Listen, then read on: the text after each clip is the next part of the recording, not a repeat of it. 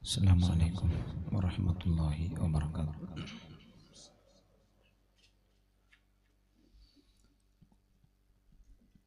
أعوذ بالله من الشيطان الرجيم.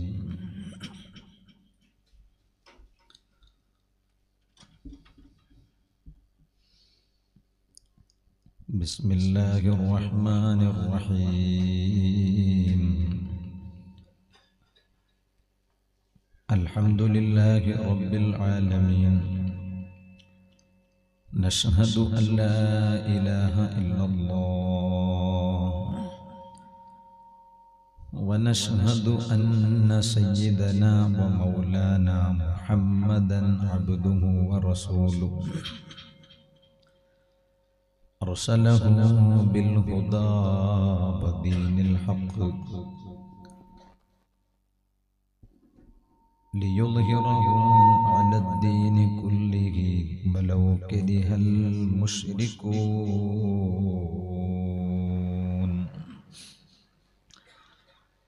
الصلاة والسلام عليك يا سيدي يا رسول الله.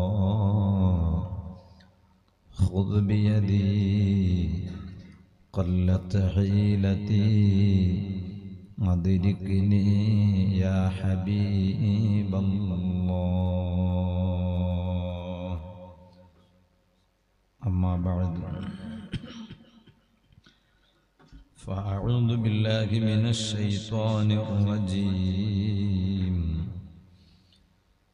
بسم الله الرحمن الرحيم.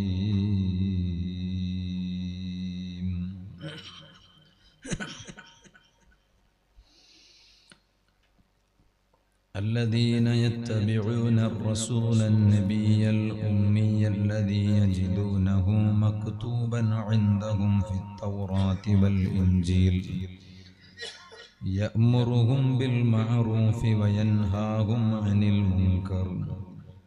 ويحل لهم الطيبات ويحرم عليهم الخبائث. ويضع عنهم إسرهم والأغلال التي كانت عليهم فالذين آمنوا به وعزروه ونصروه واتبعوا النور الذي أنزل معه واتبعوا النور الذي أنزل معه أولئك هم المفلحون. صدق الله العلي العظيم. صدق وبلغ رسوله النبي الكريم. ونحن على ما قال ربنا من الشاهدين الشاكرين. والحمد لله رب العالمين. يا رحمة الله إني خائف وجل يا نعمة الله إني مفلس معاني. وليس لي عمل ألقى العليم به سوى محبتك العظمى وإيماني يا ربي بالمصطفى بلغ مقاصدنا. واغفر لنا ما مضى الكرم مولاي. لم دائما أبدا على حبيبك خير. الخلق كلهم دنياك सबसे मुश्किल काम मदीने से वापस आना। जन्नत की हवा है, आती है। बैठा हो मस्जिद नबवी में। तू ज़िंदा है वल्लाह। तू ज़िंदा है वल्लाह। मेरे चश्मे आलम से चुप जाने वाले। कयामत के दिन सब अपने अपने होंगे। लेकिन मेरे सरकार हम सब के होंगे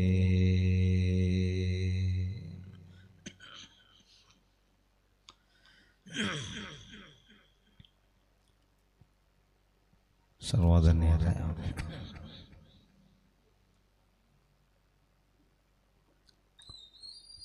വേദിയിലുള്ള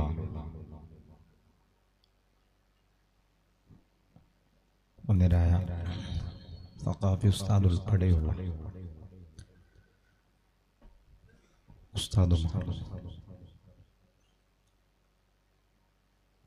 നമ്മുടെ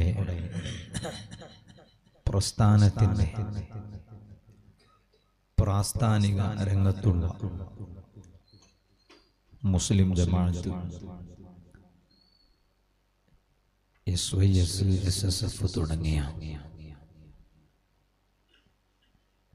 സുന്നത്ത് ജമാഅത്തിന്റെ പ്രാസ്ഥാനിക രംഗത്തുള്ള നേതാക്കൾ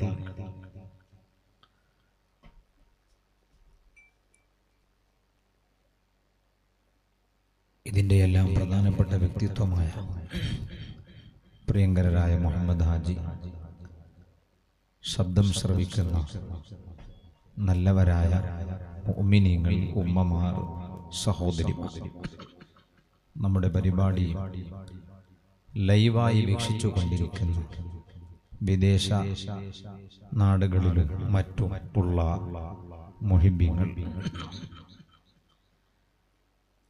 വളരെയധികം പുണ്യമേറിയ ഒരു മാസത്തിൽ ഒരു രാത്രിയിൽ ഒരു മജിലിസിലാണ് ഉള്ളത്. ഈ മൂന്ന് അർത്ഥത്തിലും പുണ്യം ലഭിക്കാനുള്ള കാരണം അഷ്റഫുൽ ഖൽക്ക് മുഹമ്മദ് റസൂലുള്ളാഹി അലൈഹി വസല്ലമ തങ്ങളാണ്.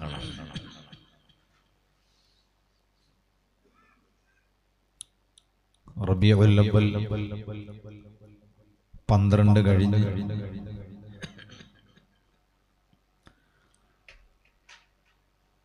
പതിമൂന്ന് കഴിഞ്ഞ് പതിനാലാം രാവിലാണ് നാം ഉള്ളത്.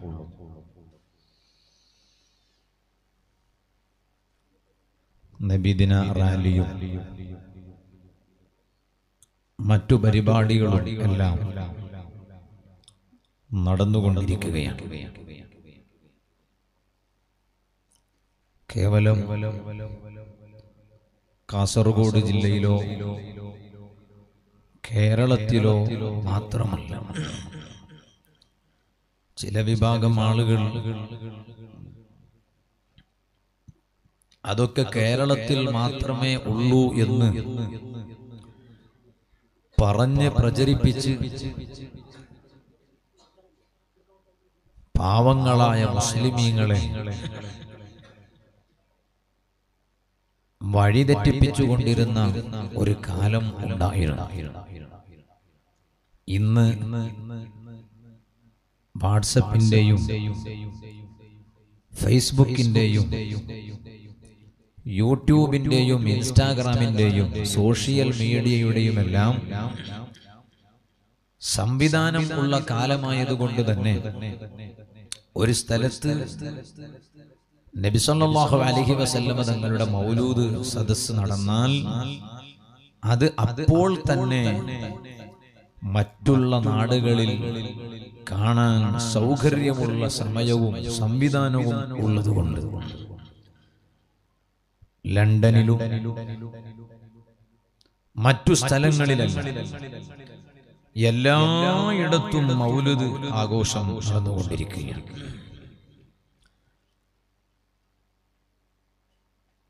സത്യത്തിൽ അതൊക്കെ കാണുമ്പോ നമ്മുടെ നാട്ടിലുള്ള ഈ ആഘോഷത്തെക്കാളൊക്കെ അതിവിപുലമായ രീതിയിൽ മറ്റു പുറം നാടുകളിലാണ് നടക്കുന്നത് എന്നാണ് നമുക്ക് തോന്നുന്നത്. ഈമാനുള്ളവർ അങ്ങനെയാണ്. നബി സല്ലല്ലാഹു അലൈഹി വസല്ലം തങ്ങൾ ഏറ്റവും വലിയ അനുഗ്രഹമാണ്. വമാ അർസൽനാക ഇല്ലാ റഹ്മത്തൻ ലിൽ ആലമീൻ. ഖുർആൻ പറഞ്ഞു ലോകത്തിന് മൊത്തം അനുഗ്രഹമാണ്. അത് മുസ്ലിമീങ്ങൾക്ക് മാത്രം അല്ല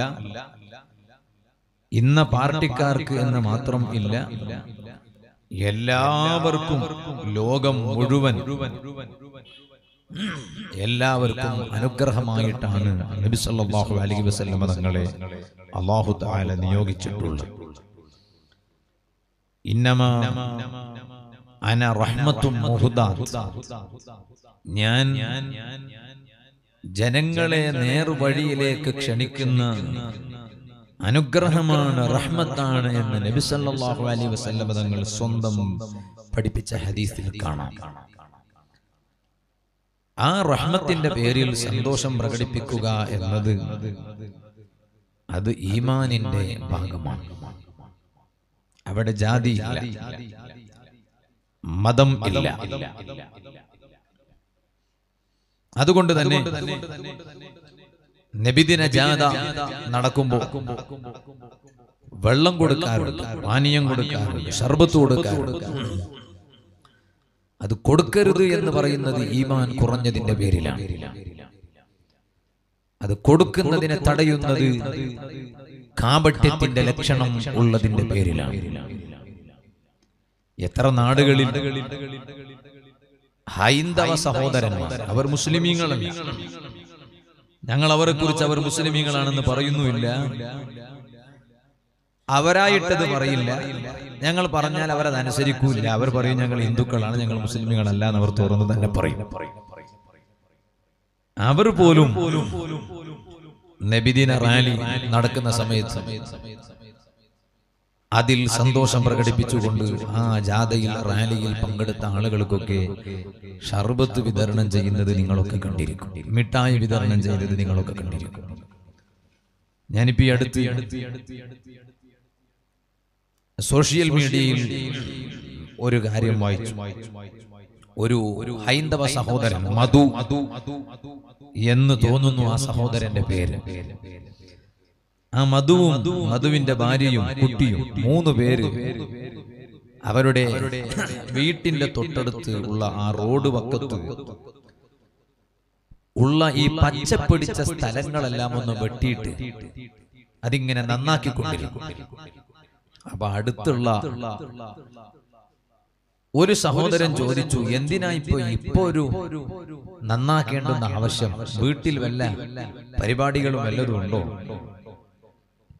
അപ്പൊ ഈ ഹൈന്ദവ സഹോദരൻ പറഞ്ഞ മറുപടി. നബിദിനം വരികയല്ലേ? പന്ത്രണ്ടിന്റെ മുമ്പാണ്.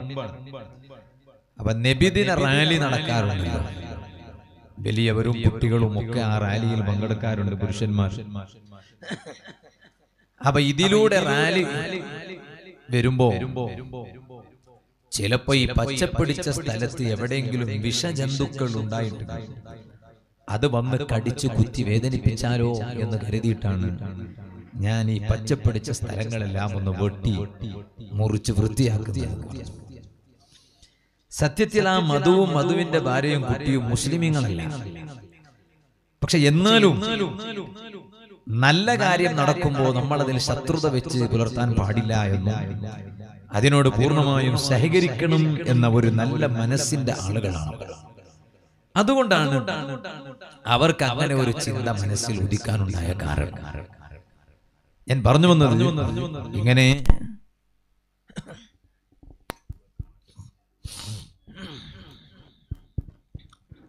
എല്ലാവരും ജാതി മത വ്യത്യാസമില്ലാതെ ഈ നബിദിനം കൊണ്ടാടുകയാണ്. നബി സല്ലല്ലാഹു അലൈഹി വസല്ലം തങ്ങളെ കുറിച്ച് ഞാൻ ഇവിടെ വന്നപ്പോ ഇവിടെ പറഞ്ഞു. പറഞ്ഞു പറഞ്ഞു പറഞ്ഞു. സാധാരണഗതിയിൽ പറയാറുണ്ട് പുരുഷന്മാരെക്കാളൊക്കെ സ്ത്രീകളാണ് കൂടുതൽ. എവിടെ പോയാലും പോയാലും അങ്ങനൊന്നും പറഞ്ഞതല്ല. ഇവിടെ അല്ലെങ്കിൽ തന്നെ ഒരുപാട് സ്ത്രീകൾ ഈ സദസ്സിലുണ്ട് എന്ന് അറിയാൻ സാധിച്ചു നബി സല്ലല്ലാഹു അലൈഹി വസല്ലമ തങ്ങളെ കുറിച്ച് പറഞ്ഞാൽ അതുണ്ടോ പറഞ്ഞു തീർക്കാൻ കഴിയുക? ഇല്ല. അതുകൊണ്ടാണ് മുൻഗാമികളായ മഹാന്മാരുടെ ചരിത്രത്തിലൊക്കെ കാണാൻ കഴിയും. തങ്ങളെക്കുറിച്ച് പറഞ്ഞാൽ അത് കുറവായി പോകുമോ എന്ന് കരുതിയിട്ട് അവരൊക്കെ ഭയന്നിരുന്നു എന്ന് പോലും നമുക്ക് കാണാൻ കഴിയും. ഇമാം ബൂസീരി റളിയല്ലാഹു അൻഹു ലോകത്ത് ഏറ്റവും കൂടുതൽ ശ്രദ്ധ പിടിച്ചു പറ്റിയ ഈരടികളിലെ ഭൂസീരി ഇമാമ രചിച്ച നബി സല്ലല്ലാഹു അലൈഹി വസല്ലം തങ്ങളെ പ്രകീർത്തിച്ചുകൊണ്ട് പ്രശംസിച്ചുകൊണ്ടുള്ള ഈരടികൾ ഖസീദത്തുൽ ബുർദ അമിൻ തദക്കുരിജി റാനിം ബിദി സലമി മസജ്ത ദംഅൻ ജറാ മിൻ മുഖ്ലത്തിൻ ബിദമി എന്നിങ്ങനെ തുടങ്ങുന്നു. അതിൽ നബി സല്ലല്ലാഹു അലൈഹി വസല്ലം തങ്ങളെ കുറിച്ച് ധാരാളം പറഞ്ഞു. തങ്ങളെ കുറിച്ച് എത്ര പറഞ്ഞാലും പറയുന്ന ആൾക്ക് മടി തോന്നരുത്. കേൾക്കുന്നവർക്ക് മടി തോന്നരുത്. അത് ചിലപ്പോ കേട്ടത് തന്നെ കേൾക്കുന്നതാണെങ്കിലും അത് കേൾക്കുന്നത് ഇബാദത്താണ്. ആദ്യം കേട്ടത് കൊണ്ട് രണ്ടാമതായി കേൾക്കുമ്പോൾ ഇബാദത്തിന്റെ കൂലി കുറയൂല. എത്ര കേട്ടാലും അത് കേട്ടത് തന്നെയാണെങ്കിൽ അത് സാധാ ഒരു ഇൽമു പറയലല്ല. അത് നബിസല്ലാസങ്ങളെ മധു പറയലാണ്. അതിൽ ചിലപ്പോൾ നമുക്ക് പുതുതായത് വല്ലതും കിട്ടിയിട്ടില്ലെങ്കിലും ആദ്യം കേൾക്കുമ്പോഴുള്ള അതേ ആവേശമാണ്. പിന്നീട് കേൾക്കുമ്പോഴൊക്കെ ഈമാനുള്ളവർക്ക് വേണ്ടത്. കാരണം അതിൽ നിന്ന് ധാരാളം പ്രതിഫലം കിട്ടും. അതുകൊണ്ടാണ് ഇമാം ബൂസീർ റളിയല്ലാഹു അൻഹു ഒരുപാട് പറഞ്ഞു പറഞ്ഞു പറഞ്ഞു പറഞ്ഞു പറഞ്ഞു അവസാനം. അൻസുബ് شئت من شرفي وانصب إلى قدره. വൻസുബ് ഇലാ ഖദ്രിഹി عظمي. അവിടുന്ന് പറഞ്ഞു പറഞ്ഞു നിങ്ങൾ എന്ത് ബഹുമാനം നബി സല്ലല്ലാഹു അലൈഹി വസല്ലം തങ്ങളിലേക്ക് ചേർത്തി പറഞ്ഞാലും അത് ഒരു കുറവും വരാറില്ല. തങ്ങളിലുള്ളതാണ്. എന്ത് നല്ല കാര്യം തങ്ങളുടെ സ്ഥാനത്തേക്ക് ചേർത്തി പറഞ്ഞാൽ അതൊക്കെ തങ്ങളിൽ ഉള്ളതാ- ഉള്ളതാണ്. ഇങ്ങനെ ഒരുപാടങ്ങ് പറഞ്ഞു ധാരാളം പറഞ്ഞു. ധാരാളം പറഞ്ഞു പറഞ്ഞു പറഞ്ഞു പിന്നെന്ത് പറയാനാ എത്ര പറഞ്ഞാലും അത് കുറവാവുകയുള്ളൂ എന്നിട്ട് പറഞ്ഞു പറഞ്ഞു ഫമബ്ലഗുൽ ഇൽമി ഫീഹി അന്നഹു ബശറു وأنه خير خلق الله كلهم ഇനി എനിക്ക് കൂടുതലൊന്നും പറയാനില്ല എനിക്ക് ഇനി പറയാനുള്ളത് ഒറ്റ കാര്യമാണ്. നബി സല്ലല്ലാഹു അലൈഹി വസല്ലം ഞാൻ ഒരുപാട് ബഹുമാനം പറഞ്ഞില്ലേ? തങ്ങളെക്കുറിച്ച് ധാരാളം ഞാൻ പറഞ്ഞില്ലേ? ഇതെല്ലാം പറയുമ്പോ നബി സല്ലല്ലാഹു അലൈഹി വസല്ലം ഒരു മനുഷ്യരല്ല എന്ന് നിങ്ങൾ കരുതി പോകരുത് ഒരു മലക്കാണെന്ന് കരുതി പോകരുത് ഫമബ്ലഗുൽ ഇൽമി ഫീഹി അന്നഹു ബശറുൻ അവസാനം പറയാനുള്ളത് ഈ എല്ലാ വിശേഷണങ്ങളുള്ള നബി സല്ലല്ലാഹു അലൈഹി വസല്ലം തങ്ങൾ മനുഷ്യനാണ് കേട്ടോ وأنه خير خلق الله كلهم സർവ സൃഷ്ടികളെക്കാളും ഏറ്റവും ഉത്തമരാണ് മുഹമ്മദ് റസൂലുള്ളാഹി സ്വല്ലല്ലാഹു അലൈഹി വസല്ലം മലക്കുകളെക്കാളും ഉത്തമരാണ്. മലക്കുകൾ അള്ളാഹുവിന്റെ സൃഷ്ടിയാണ്. അപ്പൊ എല്ലാ സൃഷ്ടികളെക്കാളും ഏറ്റവും ഉത്തമരാണ് നബി സല്ലല്ലാഹു അലൈഹി വസല്ലം. എല്ലാ അമ്പിയാക്കൾക്ക് ബഹുമാനമുണ്ട് പവറുണ്ട്. മറ്റുള്ളവരെക്കാളൊക്കെ അമ്പിയാക്കൾക്ക് വലിയ സ്ഥാനമാണ്. പക്ഷേ ഒരൊറ്റ നബിയിന് പോലും നബി സല്ലല്ലാഹു അലൈഹി വസല്ലമ തങ്ങളുടെ സ്ഥാനമില്ല. ഫാഖൻ നബിയിന ഫീ ഖൽഖിൻ വഫീ ഖുലൂഖി വലം യുദാനൂ ഫീ علم ولا كرم ഒരൊറ്റ നബിയ് പോലും ഇൽമിന്റെ വിഷയത്തിലാകട്ടെ അതുപോലെ തന്നെ ആദരവിന്റെ വിഷയത്തിലാകട്ടെ സ്വതക്കയുടെ വിഷയത്തിലാകട്ടെ ഏത് വിഷയത്തിലായാലും ഒരൊറ്റ നബിയ് പോലും നബി സല്ലല്ലാഹു അലൈഹി വസല്ലമ തങ്ങളോട് അടുക്കുക പോലുമില്ല. സുഹൃത്തുക്കളെ ആ നബി സല്ലല്ലാഹു അലൈഹി വസല്ലമ തങ്ങളുടെ ജനനം അത്ഭുതമാണ്. ആ നബി സല്ലല്ലാഹു അലൈഹി വസല്ലമ തങ്ങൾ അതാ ജനിക്കുന്നത് അത്ഭുതമാണ്. വളരുന്നത് അത്ഭുതമാണ്. ജീവിച്ചത് അത്ഭുതമാണ്. എല്ലാം അത്ഭുതമാണ്. വഫാത്തും അത്ഭുതമാണ്. അതുകൊണ്ട് തന്നെ നബി സല്ലല്ലാഹു അലൈഹി വസല്ലമ തങ്ങൾ ഒരു സാധാരണ മനുഷ്യനാണ് എന്ന വിശ്വാസം അത് ഈമാനിനോട് യോജിച്ചതല്ല. മുഹമ്മദ് നബി സല്ലല്ലാഹു അലൈഹി വസല്ലമ തങ്ങളുണ്ട്. ആ തങ്ങളെ നബിയാണ് അള്ളാഹുവിന്റെ റസൂലാണ് എന്നതുകൊണ്ട് മാത്രം വിശ്വസിച്ചാൽ പോരാ. അള്ളാഹുവിന്റെ റസൂലും നബിയുമാണെന്ന് വിശ്വസിച്ച ആ മുഹമ്മദ് നബി സല്ലല്ലാഹു അലൈഹി വസല്ലം. അത് ഏത് മുഹമ്മദ് നബിയാണ്? സ്വഹാബത്ത് അംഗീകരിച്ചൊരു മുഹമ്മദ് നബിയുണ്ട്. സല്ലല്ലാഹു അലൈഹി വസല്ലം. ആ സ്വഹാബത്ത് നബി സല്ലല്ലാഹു അലൈഹി വസല്ലമ തങ്ങളെ അംഗീകരിച്ചത് ഒരു സാധാരണ മനുഷ്യനായിട്ടല്ല ഒരു സാധാരണ കേൾവി ശക്തിയുള്ളവരായിട്ടല്ല ഒരു സാധാരണ കാഴ്ച ശക്തിയുള്ളവരായിട്ടല്ല എല്ലാ അർത്ഥത്തിലും അസാധാരണ വ്യക്തിത്വമുള്ള നേതാവാണ് മുഹമ്മദുർ റസൂലുള്ളാഹി സല്ലല്ലാഹു അലൈഹി വസല്ലം. അതുകൊണ്ട് തന്നെ നബി സല്ലല്ലാഹു അലൈഹി വസല്ലമ തങ്ങളെ മൗലൂദിന്റെ സദസ്സിൽ വെച്ച വെള്ളം ആ വെള്ളത്തിന് വലിയ ബഹുമാനമുണ്ട്. ഉമ്മമാരെ നിങ്ങൾ ഈ സദസ്സിൽ വെച്ച് എന്റെ സംസാരം കേൾക്കുന്നുണ്ടല്ലോ. ഞാൻ നിങ്ങളോടൊരു കാര്യം പറയട്ടെ. ഇമാം ഫഹറുദ്ദീൻ റാസി റളിയല്ലാഹു അൻഹു പറഞ്ഞ ഒരു അറിവാണ്. ഇമാം ഫഖറുദ്ദീൻ റാസി റളിയല്ലാഹു പറഞ്ഞ ഒരു അറിവാണത്. ഞാൻ ആ അറിവ് ഇവിടെ പറഞ്ഞു തന്നാൽ നിങ്ങളത് ജീവിതത്തിൽ പകർത്തിയാലോ?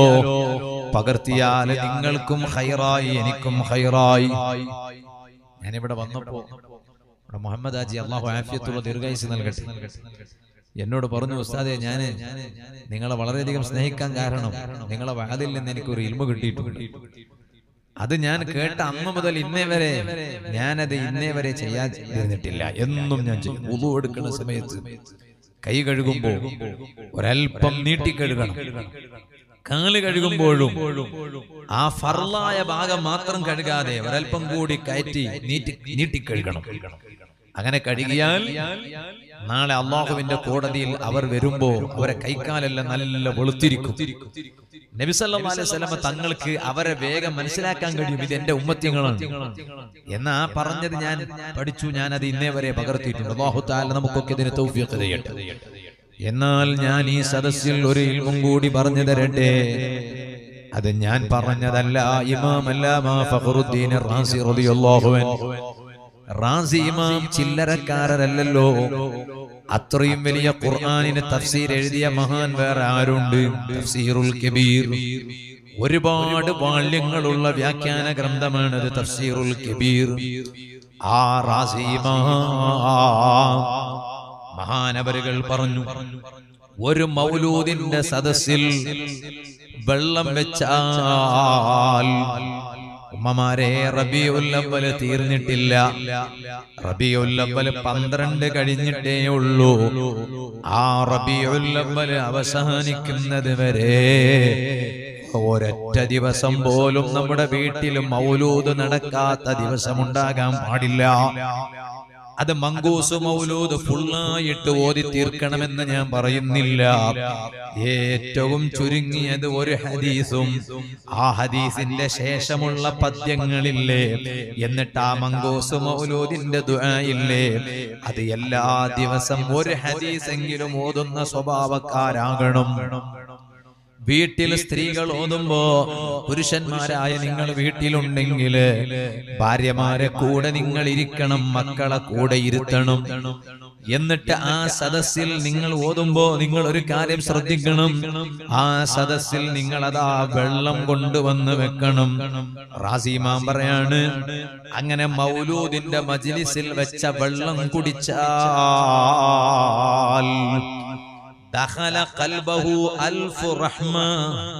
ആ മനുഷ്യന്റെ ഹൃദയത്തിൽ ആയിരം റഹ്മത്തുകൾ പ്രവേശിക്കും.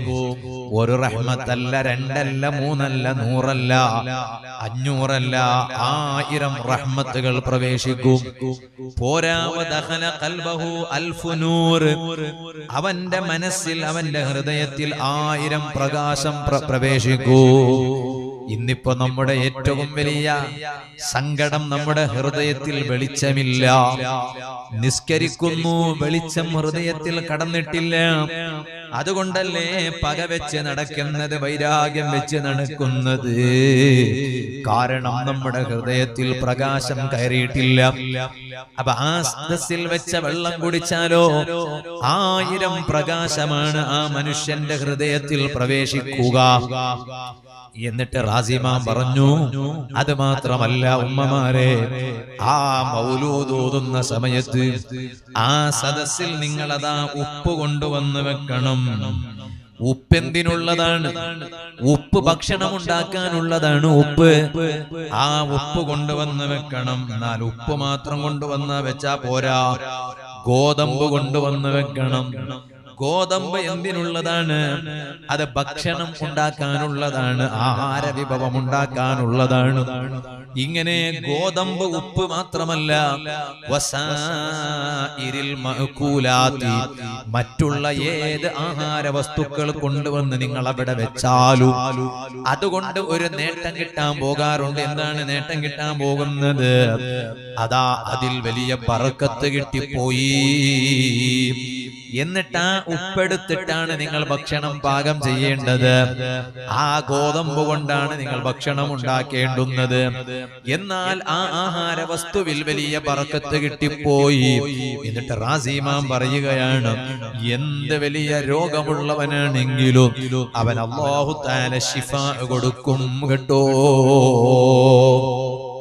അപ്പൊ വെള്ളമായി ആഹാര വസ്തുക്കളായി ഇത് പറഞ്ഞിട്ട് മൂന്നാമതായിട്ട് ഇമാം റാസി റതിയല്ലോവന് പറയുകയാണ് എന്നാൽ പൈസ വെക്കണം ആ സദസ്സിൽ.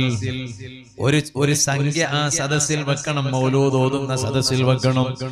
എന്നിട്ട് ആ മൗലൂദ് കഴിഞ്ഞാലോ ആ സംഖ്യ എടുത്ത് മൗലൂദിന്റെ സദസ്സിൽ വെച്ച ആ പൈസ അത് എടുത്തിട്ട് നിങ്ങളുടെ മറ്റുള്ള പൈസയോട് നിങ്ങൾ ചേർത്തി വെക്കണം കൂട്ടിക്കളർത്തണം എന്നാൽ ആ മനുഷ്യൻ മരിക്കുന്നത് വരെ അവൻ ഫക്കീറാകൂല അവൻ ദരിദ്രനാകൂല അവന്റെ സ്വന്തത്തിന് മറ്റൊരുത്തന്റെ മുന്നിൽ കൈനീട്ടി യാചിക്കേണ്ടുന്നൊരവസ്ഥ വരൂല.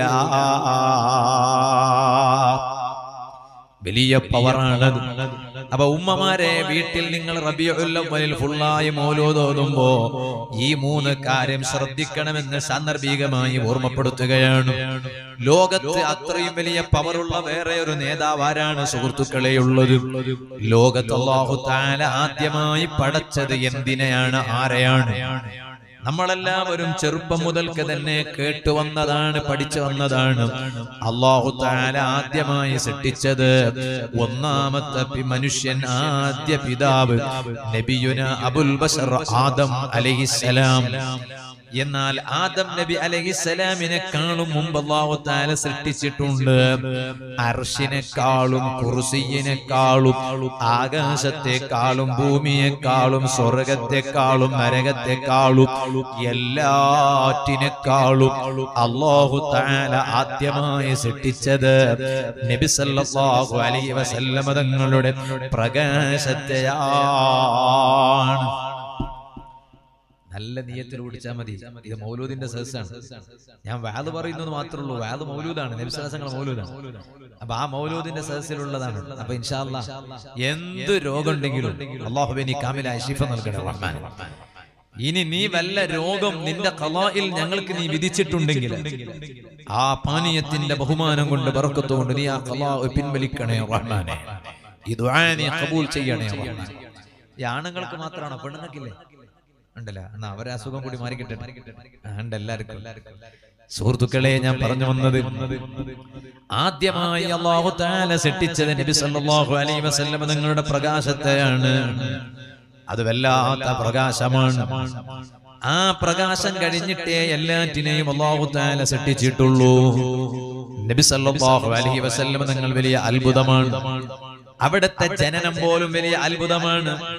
അതുകൊണ്ടാണ് ചരിത്രം പറഞ്ഞിടത്തൊക്കെ കാണാൻ കഴിയും. സാധാരണഗതിയിൽ ഒരു കുഞ്ഞിനെ ഒരു ഉമ്മ പ്രസവിക്കുമ്പോൾ പ്രസവിക്കണ്ട ഗർഭം ചുമന്നാൽ തന്നെ എന്തൊരു സങ്കടമാണ്. ഗർഭം ചുമക്കുമ്പോൾ തന്നെ അതിന്റെ ആദ്യ ഘട്ടത്തിൽ തന്നെ എന്തൊരു പ്രയാസമാണ്. ചില സ്ത്രീകളുണ്ട്. അവരിങ്ങനെ ഗർഭം ചുമന്നാൽ ഇതിന്റെ സ്റ്റാർട്ടിംഗിൽ ആദ്യത്തെ ഒന്ന് രണ്ട് മാസം. അവർക്ക് എല്ലാ മണം പറ്റൂല. അങ്ങനെ എല്ലാ മണം അവർക്ക് പറ്റൂല. പ്രത്യേകിച്ച് ഭർത്താവിന്റെ മണം തീരെ പറ്റൂല. ഇങ്ങോട്ട് അടുക്കണ്ടെന്ന് പറയും. എപ്പോ നോക്കിയാലും ഇങ്ങനെ ആ ഷാൽ കൊണ്ട് ഇങ്ങനെ മൂക്ക് ഇങ്ങനെ പൊത്തിപ്പിടിച്ചിരിക്കും. നിങ്ങൾ ആരും കരുതണ്ട. എന്താ ഇപ്പൊ പെട്ടെന്ന് ഇതുവരെ എന്നോട് വലിയ സ്നേഹമായിരുന്നു ഇവൾക്ക്. ഇപ്പൊ നോക്കുമ്പോ തീരെ സ്നേഹം കുറഞ്ഞു പോയോ എന്റെ അടുക്കുമ്പോഴേക്ക് ഇങ്ങനെ ഷാൾ കൊണ്ടിട്ട് ഇങ്ങനെ മൂക്കിങ്ങനെ പൊത്തിപ്പിടിക്കുന്നു സ്നേഹം കുറഞ്ഞിട്ടൊന്നുമല്ല. പിന്നെ ഭർത്താവിന്റെ മണം തീരെ പറ്റാത്ത സമയമാണ്. പിന്നെ ഭർത്താവ് അടുക്കണമെന്നില്ല. പിന്നെ ഭർത്താവിന്റെ കുപ്പായം റൂമിലുണ്ടെങ്കിൽ മതി. ആ കുപ്പായം അലക്കി വെച്ച് കഴുകി തേച്ച് വെച്ച കുപ്പായമാണെങ്കിലും അതിന്റെ മണം പോലും പറ്റൂല. ഭയങ്കര പ്രയാസം. പിന്നെ അടുക്കളയിലേക്ക് തീരെ പോകാൻ പറ്റൂല. ആദ്യത്തെ ഒന്ന് രണ്ട് മാസം. അടുക്കളയിലേക്ക് തീരെ പോകാൻ പറ്റൂല. അപ്പോഴാണ് ഈ അമ്മായും മരുമകൾക്കും വലിയ പ്രശ്നമുള്ള സമയമാണ്. അമ്മായി ഇക്കാര്യം മനസ്സിലാക്കൂല. അമ്മായിമാക്ക് ഉണ്ടായിരുന്നു ആദ്യ ഗർഭം ചുമന്ന സമയത്ത് തുടക്കത്തിൽ അമ്മായിമാക്ക് ഇതുണ്ടായിരുന്നു. അത് അമ്മായിമ്മ മനസ്സിലാക്കണില്ല അമ്മായിമ്മന്റെ ആകെ പ്രശ്നം എന്താ? ഇവൾ മാത്രമാണോ ദുനിയാവിൽ ഗർഭം ചുമന്നിട്ടുള്ളത്? ഞാനൊന്നും ചുമന്നിട്ടില്ല. ഇവളെന്താ ഇങ്ങനെ? ആദ്യം ഒന്ന് രണ്ട് മാസം ആയപ്പോഴേക്ക് തന്നെ ഇവളെന്താ ഇങ്ങോട്ടൊന്നും വരാത്ത അടുക്കളയിൽ വരാത്ത എന്ന അമ്മായിമ്മ ചിന്തിക്കാൻ പാടില്ല. അത് അങ്ങനെ അവർക്ക് വരാൻ പറ്റാത്ത ഒരു സമയം. എല്ലാ സ്ത്രീകൾക്കും ചില സ്ത്രീകൾ നല്ല ജഗൽ പെണ്ണുങ്ങന്മാരുണ്ടാവും. ജഗൽ പെണ്ണുങ്ങന്മാർ എന്ന് പറഞ്ഞാൽ അവർ ആണുങ്ങളാകേണ്ടവരാണ്. എന്തോ മാറിയിട്ട് പെണ്ണുങ്ങളായി പോയതാണ് അപ്പൊ അവർക്ക് നല്ല സഹിക്കാനുള്ള മനക്കരുത്തുണ്ടാവും അപ്പൊ അവർക്ക് ഒരു പ്രശ്നവുമില്ല. അവർക്ക് ഭർത്താവ് അടുത്ത് പോയാൽ അവർക്ക് ആ മണം പ്രശ്നമല്ല കോയിന്റെ മണം പ്രശ്നമല്ല കരിന്റെ മണം പ്രശ്നമല്ല സാലിന്റെ മണം പ്രശ്നമല്ല ഒന്നും പ്രശ്നമല്ല. എല്ലാ പെണ്ണുങ്ങന്മാരും അങ്ങനെ അങ്ങനെ ആവണമെന്നില്ല. അങ്ങനെ ആവണമെന്നൊന്നുമില്ല. നമ്മൾ ഈ എന്താണ് ഈ- സ്ഥലത്തിന്റെ ഈ ബന്ദിയോട്ടിൽ ഉമ്മമാരെ പോലെ ബന്ധിയോട്ടി ഉമ്മമാർക്ക് ഭയങ്കര ഉഷാറാണ്. അവർക്ക് എന്തും സഹിക്കാനുള്ള മനക്കരുത്തുണ്ടാവും അങ്ങനെ ഇപ്പോ എന്റെ നാട്ടിലെ ഉമ്മമാരൊക്കെ അങ്ങനെ തന്നെ വേണമെന്നില്ലല്ലോ. ഞാൻ പറഞ്ഞു തന്നത് ആദ്യ സമയത്ത് വലിയ പ്രയാസമായിരിക്കും. പിന്നെ പിന്നെ എവിടെ കട്ടിൽ കണ്ടാൽ അവിടെ കിടക്കാൻ തോന്നും? എവിടെങ്കിലും വിരിച്ചിട്ടുള്ളത് കണ്ടാൽ അവിടെ കിടക്കാൻ തോന്നും? അത് ആദ്യത്തെ ദുർബലതയാണത്. എന്നാൽ ഓ ഉമ്മമാരെ സഹോദരിമാരെ നബി സല്ലല്ലാഹു അലൈഹി വസല്ലമ തങ്ങളെ കൊണ്ട് ഗർഭം ചുമന്ന സമയം ആമിന ബീവി റളിയല്ലാഹു അൻഹാ. സാധാരണഗതിയിൽ ഗർഭിണികൾ നേരിടേണ്ടി വന്നു വരുന്ന ഒരു പ്രയാസം പോലും ആമിന ബീവി റളിയല്ലാഹു അൻഹാക്കുണ്ടായില്ല അതാ ഇങ്ങനെ ദുർബലരായി കിടക്കുന്ന സ്വഭാവം ആമിന ബീവിക്കില്ല. അതുപോലെ ഗർഭിണികളുടെ മറ്റുള്ള പ്രയാസങ്ങളൊന്നുമില്ല. എന്തേ കാരണം? ആ ഗർഭത്തിലുള്ള ശിശു അതൊരു സാധാരണ ശിശുവല്ല.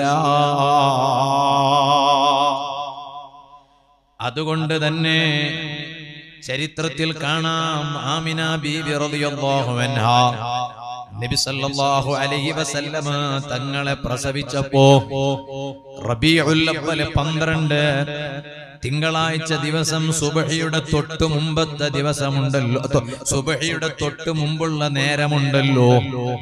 ആ സമയത്താണ് നബി സല്ലല്ലാഹു അലൈഹി വസല്ലമ തങ്ങളെ പ്രസവിച്ചത്. എന്നാൽ റബിയുല്ലവൽ പന്ത്രണ്ടിന് തന്നെയാണ് നബി സല്ലല്ലാഹു അലൈഹി വസല്ലം തങ്ങൾ വഫാത്തായത്. റബിയുല്ലവൽ പന്ത്രണ്ടിന് വേറെയും ഒരുപാട് സംഭവങ്ങളുണ്ട്. നബി സല്ലല്ലാഹു അലൈഹി വസല്ലം തങ്ങൾ ജനിച്ചത് റബിയുല്ലവൽ പന്ത്രണ്ടിനാണ്. വഫാത്തായത് റബിയുല്ലവൽ പന്ത്രണ്ടിനാണ്. ആ നബി സല്ലല്ലാഹു അലൈഹി വസല്ലം തങ്ങൾക്ക് ആദ്യമായി വഹി അവതീർണമായത്. അള്ളാഹുവിൽ നിന്നുള്ള വഹി ആദ്യമായി കിട്ടിയത്. അതും റബീഉൽ അവ്വൽ പന്ത്രണ്ടിനാണ് നബി സല്ലല്ലാഹു അലൈഹി വസല്ലമ തങ്ങള് മക്കയിൽ നിന്ന് മദീനയിലേക്ക് പോയപ്പോ ആ മദീനയിലുള്ള സ്വഹാബത്ത് ത്വലഅൽ ബദ്റു അലൈനാ മിൻ സഹനിയത്തിൽ ബദാഇ وجب الشكر علينا ما دعا لله داع മൗലൂദ് ഓതിയിട്ട് നബി സല്ലല്ലാഹു അലൈഹി വസല്ലമ തങ്ങളെ മദീനയിൽ സ്വീകരിച്ചത്. അത് റബീഉൽ അവ്വൽ 12നാണ് അപ്പൊ റബീഉൽ അവ്വൽ 12ന് മൗലൂദ് ഓതുന്നതിന് കുഴപ്പമില്ല എന്ന് പുത്തനാശയക്കാരന് സമ്മതിക്കേണ്ടി വരും. കാരണം എന്താണ്? കാരണം റബീഉൽ അവ്വൽ 12ന് സ്വഹാബത്ത് മദീനയിൽ മൗലൂദ് ഓതിയിട്ടുണ്ട്. ആ ഓതിയത് നബി സല്ലല്ലാഹു അലൈഹി വസല്ലമ തങ്ങൾ മദീനയിൽ എത്തിയപ്പോഴാണ് ആ റബീഉൽ അവ്വൽ 12ന് ത്വലഅൽ ബദ്റു അലൈന ചൊല്ലിയിട്ട് നബി സല്ലല്ലാഹു അലൈഹി വസല്ലമ തങ്ങളെ സ്വീകരിച്ചത്. എല്ലാ ഇമാമിയങ്ങൾ അവരെ താരീഖ് ഗ്രന്ഥങ്ങളിൽ രേഖപ്പെടുത്തിയിട്ടുണ്ട്. ഇങ്ങനെ ധാരാളം സംഭവങ്ങളാണ് റബിയുൽ അവ്വൽ പന്ത്രണ്ടിന് സംഭവിച്ചിട്ടുള്ളത്. അപ്പൊ ചില ആളുകൾ ചോദിക്കും. ഈ സുന്നികളുണ്ട്. റബിയുൽ അവൽ പന്ത്രണ്ട് ആഘോഷിക്കാനേ അവരെ കൊണ്ട് കഴിയൂ. നബി സല്ലല്ലാഹു അലൈഹി വസല്ലം വഫാത്തായത് റബിയുൽ അവൽ പന്ത്രണ്ടിനല്ലേ? എന്നാൽ ആ വഫാത്തിനെ അവരൊന്നും ചിന്തിക്കൂല. എന്നും പറഞ്ഞിട്ട് ഇങ്ങനെ ആരോപണങ്ങൾ ഉന്നയിക്കും.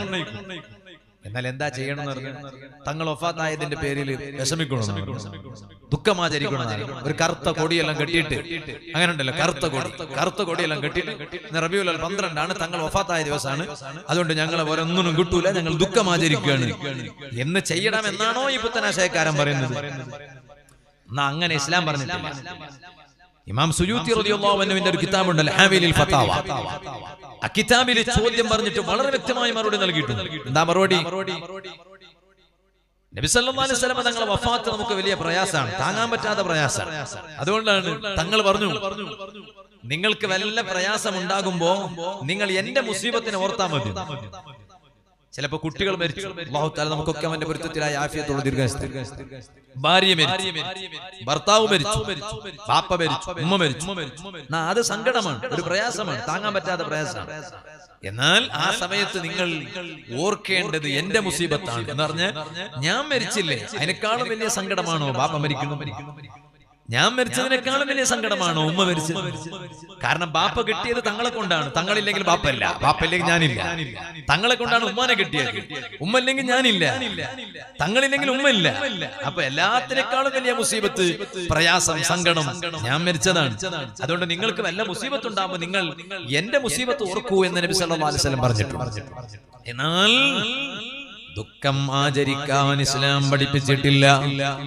ഇസ്ലാം പറഞ്ഞത് നിങ്ങൾക്കൊരു മുസീബത്ത് വന്നാൽ അതിന്റെ പേരിൽ നിങ്ങൾ സ്വബർ എടുക്കണം ക്ഷമിക്കണം.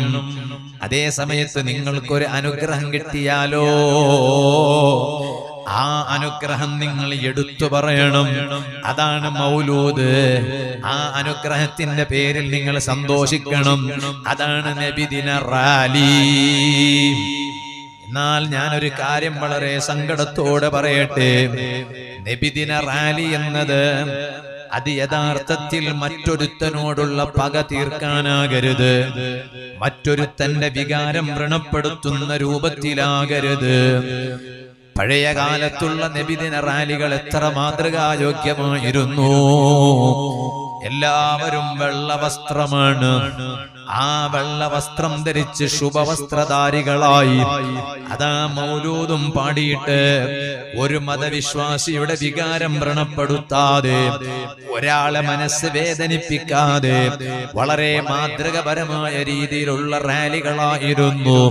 അതേ സമയത്ത് ഇപ്പൊ ചില റാലികൾ കാണുമ്പോ ഇത് യഥാർത്ഥത്തിൽ നബി സല്ലല്ലാഹു അലൈഹി വസല്ലമ തങ്ങളോടുള്ള സ്നേഹം കൊണ്ട് തന്നെയാണോ ചെയ്യുന്നത്. ആ തങ്ങളെ ഓർത്തുകൊണ്ടാണോ ചെയ്യുന്നത്? അല്ലെങ്കിൽ മറ്റുള്ളവരോട് പക തീർക്കാനാണോ ചെയ്യുന്നത്? അല്ലെങ്കിൽ ഒരു ഫാഷനായിട്ടാണോ ചെയ്യുന്നത്? അല്ലെങ്കിൽ ഒരു ട്രെൻഡ് ആയിട്ടാണോ ചെയ്യുന്നത്? അല്ലെങ്കിൽ ഒരു പരിഷ്കാരമായിട്ടാണോ ചെയ്യുന്നത്? എന്ന് ചിലപ്പോ സംശയിച്ചു പോകും. എന്റെ സംസാരം കേൾക്കുന്ന മുഴുവൻ ചെറുപ്പക്കാരോട് പറയട്ടെ. നമ്മുടെ നബിദിന റാലി മറ്റുള്ളവർക്കും കൂടി മാതൃകയോഗ്യമായ റാലിയാകണം. ആ റാലി കണ്ട് മറ്റുള്ളവർക്ക് വേദനയുണ്ടാക്കാൻ പാടില്ല. ഒരാളും അതിനെക്കുറിച്ച് തോന്നിവാസം പറയാൻ പാടില്ല. ഞാനിത് പറയാൻ കാരണം വാട്സപ്പിലൂടെ ചില വീഡിയോകൾ ഇങ്ങനെ വരികയാണ്. ആ റാലിയുടെ ശൈലികൾ കാണുമ്പോ ഇത് ഏത് മതക്കാരരാണെന്ന് പോലും സംശയിച്ചു പോകും. ആ രൂപത്തിൽ നമ്മുടെ റാലികൾ നടക്കരുത്. പറയേണ്ടുന്ന കാര്യങ്ങൾ പറയാതിരിക്കാൻ കഴിയില്ലല്ലോ. ചെയ്യുന്നതെല്ലാം ശരിയാണെന്ന് അംഗീകരിച്ചു കൊടുക്കാൻ കഴിയില്ലല്ലോ. അതുകൊണ്ട് സാന്ദർഭികമായി ഞാൻ ഓർമ്മപ്പെടുത്തിയതാണ്. റാലി എല്ലാ സമയത്തും ഉണ്ടായിട്ടുണ്ട്. ചരിത്രം പരിശോധിച്ചു നോക്കിയാൽ റാലി എപ്പോഴും ഉണ്ടായിട്ടുണ്ട്. ഞാൻ ഇപ്പൊ അതിലേക്ക് കടക്കുന്നില്ല. ഇരിക്കട്ടെ സുഹൃത്തുക്കളെ ഞാൻ പറഞ്ഞു വന്നത്. ആ നബി സല്ലല്ലാഹു അലൈഹി വസല്ലമ തങ്ങളെ ആ തങ്ങളുടെ ജനനം തന്നെ വലിയ അത്ഭുതമാണ്. അതുകൊണ്ടാണ് നല്ലവര് നല്ലവരുമായി ബന്ധപ്പെട്ട് കിടക്കുന്ന സ്ഥലമാണെങ്കിൽ ആ സ്ഥലത്ത് നല്ല സംരംഭങ്ങൾ വരും. ചീത്തയായ ആളുകൾ താമസിച്ച സ്ഥലമാണെങ്കിലോ അവിടെ തോന്നിവാസം അലഹമില്ല നമ്മുടെ ഇവിടെ ബഹുമാനപ്പെട്ട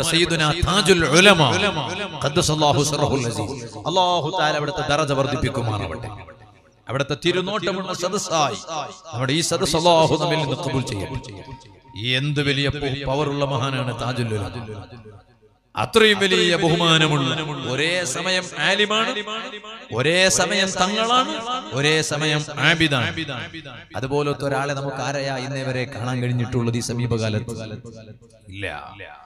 ആ താജുല്ലുലമയുടെ പേരിൽ ഇവിടെ അൽഹംദുലില്ലാ ഈ നാട്ടിൽ നമ്മുടെ മുഹമ്മദ് ആജിന്റെ വീട്ടിന്റെ ചേർന്നുകൊണ്ട് നല്ലൊരു പള്ളി ഇവിടെ പ്രവർത്തിക്കുന്നു. അല്ലാഹുവേ അതിന്റെ തനിമ പൂർവോപരി ശക്തിപ്പെടുത്തി നീ അതിന്റെ തനിമ നിലനിർത്തണേ റഹ്മാനെ. മഹാന്മാരൊക്കെ കയറി ഇറങ്ങിയ വീടുകളാണ് സാധാത്തുക്കളും ആലിമ്യങ്ങളൊക്കെ കയറി ഇറങ്ങുന്ന വീടുകളാകുമ്പോ ആ വീടിന്റെ പരിസരത്തിന് ബഹുമാനമുണ്ടാകും. അവിടെ ദീനി സംരംഭം. മർക്കസ് നോക്ക് നിങ്ങൾ. ജാമ്യ മർക്കസ് സഖാഫത്ത് സുന്നിയ. ഒന്നരായ സുൽത്താനുലുലമ ഷെയ്ഖുന കാന്തപുരം അല്ലാഹു ആഫിയത്തുള്ള ദീർഘായുസ് എന്തൊക്കെയാണ് ഇവിടെ ചെയ്യുന്നത് റബ്ബേ? ഞങ്ങളിങ്ങനെ നോളജ് സിറ്റിയെ കുറിച്ച് ഇങ്ങനെ പറയാൻ മാത്രം നമ്മളെ കൊണ്ട് കഴിയും. നോളജ് സിറ്റിയെ കുറിച്ച് പ്രസംഗിക്കാനേ കഴിയും. എന്താണ് ഈ നോളജ് സിറ്റി? ആരോപണം പറയുന്നവൻ ആരോപണം പറഞ്ഞുകൊണ്ടേയിരിക്കുകയാണ്. ഉസ്താദ് ഇങ്ങനെ മുന്നോട്ട് പോയിക്കൊണ്ടേയിരിക്കും അവനെ കൊണ്ട് ഒരു മുത്താലിമിന് ഭക്ഷണം കൊടുക്കാൻ കഴിഞ്ഞു. ഇല്ല ഉള്ളതൊക്കെ മുടക്കാനാ കഴിയും കൊടുക്കാനൊന്നും കഴിയില്ല. കൊടുക്കുന്നത് മുടക്കാൻ കഴിയും ഉസ്താദോ എവിടെ ഓർക്കുണ്ടോ ഓർക്കൂല അപ്പോ ഇപ്പൊ ഈ അടുത്ത് തിരുവനന്തപുരത്ത് എസ് വൈ എസിന്റെ സാന്ത്വന കേന്ദ്രം ആർക്ക് ചെയ്യാൻ കഴിഞ്ഞു? പലരും ചോദിച്ചു തിരുവനന്തപുരത്ത് സ്ഥലം വാങ്ങിയിരുന്നു എവിടെ പോയി ബിൽഡിംഗ് അവരെല്ലാരെയും ഞങ്ങൾ ഉസ്താദുമാർ ഇപ്പൊ സ്വാഗതം ചെയ്യാണ് തിരുവനന്തപുരത്ത് ആ കെട്ടിടം കാണാൻ വേണ്ടി. നാല് നിലയുള്ള വലിയ കെട്ടിടം ഏകദേശം പത്ത് കോടി രൂപ വിലപിടിപ്പുള്ള കെട്ടിടം. കെട്ടിടത്തിന് മാത്രം. അവളൊന്ന് ആലോചിച്ചു ആർ സി സി തിരുവനന്തപുരത്ത് റീജിയണൽ ക്യാൻസർ സെന്ററിന്റെ ചാരത്ത് ആണും പെണ്ണും ഒക്കെ കൂടിക്കലർന്ന സമയമാണ്. എത്രയോ തോന്നിവാസങ്ങൾ അവിടെ നടക്കാറുണ്ടായിരുന്നു. രോഗികളെ കൂട്ടിക്കൊണ്ടുവരുന്ന ആളുകൾ. എന്നാൽ ആ സമയത്ത് അവിടെ ഈ പ്രസ്ഥാനത്തിന്റെ കീഴിൽ സാന്ത്വന കേന്ദ്രം എന്ന ഒരു കേന്ദ്രം വരികയും ഒരേ സമയം മുന്നൂറോളം വരുന്ന രോഗികൾക്ക് അവരെ ചികിത്സിക്കാനും അവരെ കൂടെയുള്ള ആളുകൾക്ക് വിശ്രമിക്കാനും പുരുഷന്മാർക്ക് നിസ്കരിക്കുന്ന സ്ഥലം വേറെ സ്ത്രീകൾക്ക് നിസ്കരിക്കുന്ന സ്ഥലം വേറെ എല്ലാ സൗകര്യമുണ്ട്. ഇതൊക്കെ ഉസ്താദ് അവരുകൾ ഇങ്ങനെ ചെയ്യാണ്. എന്നാ മർക്കസ് സക്കാബത്തെ സുന്നിയയിൽ അന്ന് ആ സ്ഥലം മർക്കസൊക്കെ വരുന്നതിന് മുമ്പ് ആ സ്ഥലം ടിപ്പു സുൽത്താൻ ഉൾപ്പെടെയുള്ള ആളുകളൊക്കെ തമ്പടിച്ച സ്ഥലമായിരുന്നു അത്. അവിടെ സമരങ്ങളൊക്കെ നടക്കും അപ്പൊ ഇന്ന് കണ്ടോ? ഇന്ന് ഏറ്റവും വലിയ സമര കേന്ദ്രമായിട്ടാണ് മർക്കസ് വളർന്നു അങ്ങനെയുണ്ട്. നല്ല നല്ല സ്ഥലങ്ങളിലൊക്കെ അങ്ങനെയാണ് എട്ടിക്കുളത്ത് പോയി നോക്കും. എന്ത് ഉൾപ്രദേശമാണ് എട്ടിക്കുളം താജുലുലമ അവിടെ കിടക്കുമ്പോ സിയാറത്തിന് പോകുമ്പോ നമുക്ക് നമുക്ക് തന്നെ ഇങ്ങനെ തോന്നിപ്പോയി. തങ്ങൾ ഇവിടെയാണ് വന്ന് കിടന്നത്? പക്ഷെ ഇപ്പൊ അവിടെ പോയി നോക്കുമ്പോഴോ? അവിടെ സ്ഥാപനം പ്രവർത്തിക്കും. ജുമാ നടക്കും നിസ്കാരം നടക്കും. എന്തൊരു വലിയ മാറ്റമാണ്. മഹാന്മാരിക്കുന്ന സ്ഥലത്തിനൊക്കെ വലിയ ബഹുമാനമാണ്. അതുകൊണ്ട് മക്കത്ത് മക്കത്ത് പോയവർ എന്റെ സദസ്സിലുണ്ടാവും നബി സല്ലല്ലാഹു അലൈഹി തങ്ങൾ ജനിച്ച സ്ഥലം സന്ദർശിച്ചവരുണ്ടാവും. എന്നാൽ ആ സ്ഥലത്ത് ഇന്ന് എന്താ ഉള്ളത്? വലിയ ലൈബ്രറിയാണ്. ഇൽമിന്റെ ലൈബ്രറി കേന്ദ്രം. അബൂജഹൽ ജനിച്ച സ്ഥലത്ത് പോയിട്ടുണ്ടാവുമല്ലോ.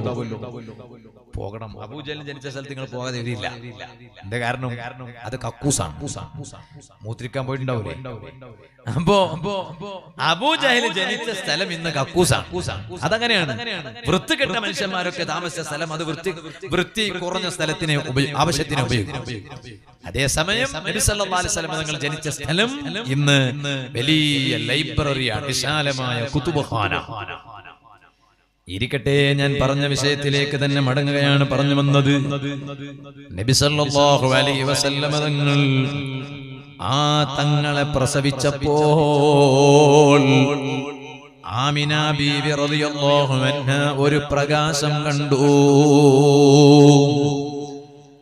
ലോകത്ത് ഇന്നേ വരെ ഒരു ഉമ്മയും ഒരു കുഞ്ഞിനെ പ്രസവിക്കുമ്പോ അങ്ങനെ ഒരു പ്രകാശം കണ്ടിട്ടില്ല. എന്നാൽ ആമിന ബീവി റളിയല്ലാഹു അൻഹ നബി സല്ലല്ലാഹു അലൈഹി വസല്ലമ തങ്ങളെ പ്രസവിച്ചപ്പോ ഒരു പ്രകാശം കണ്ടു.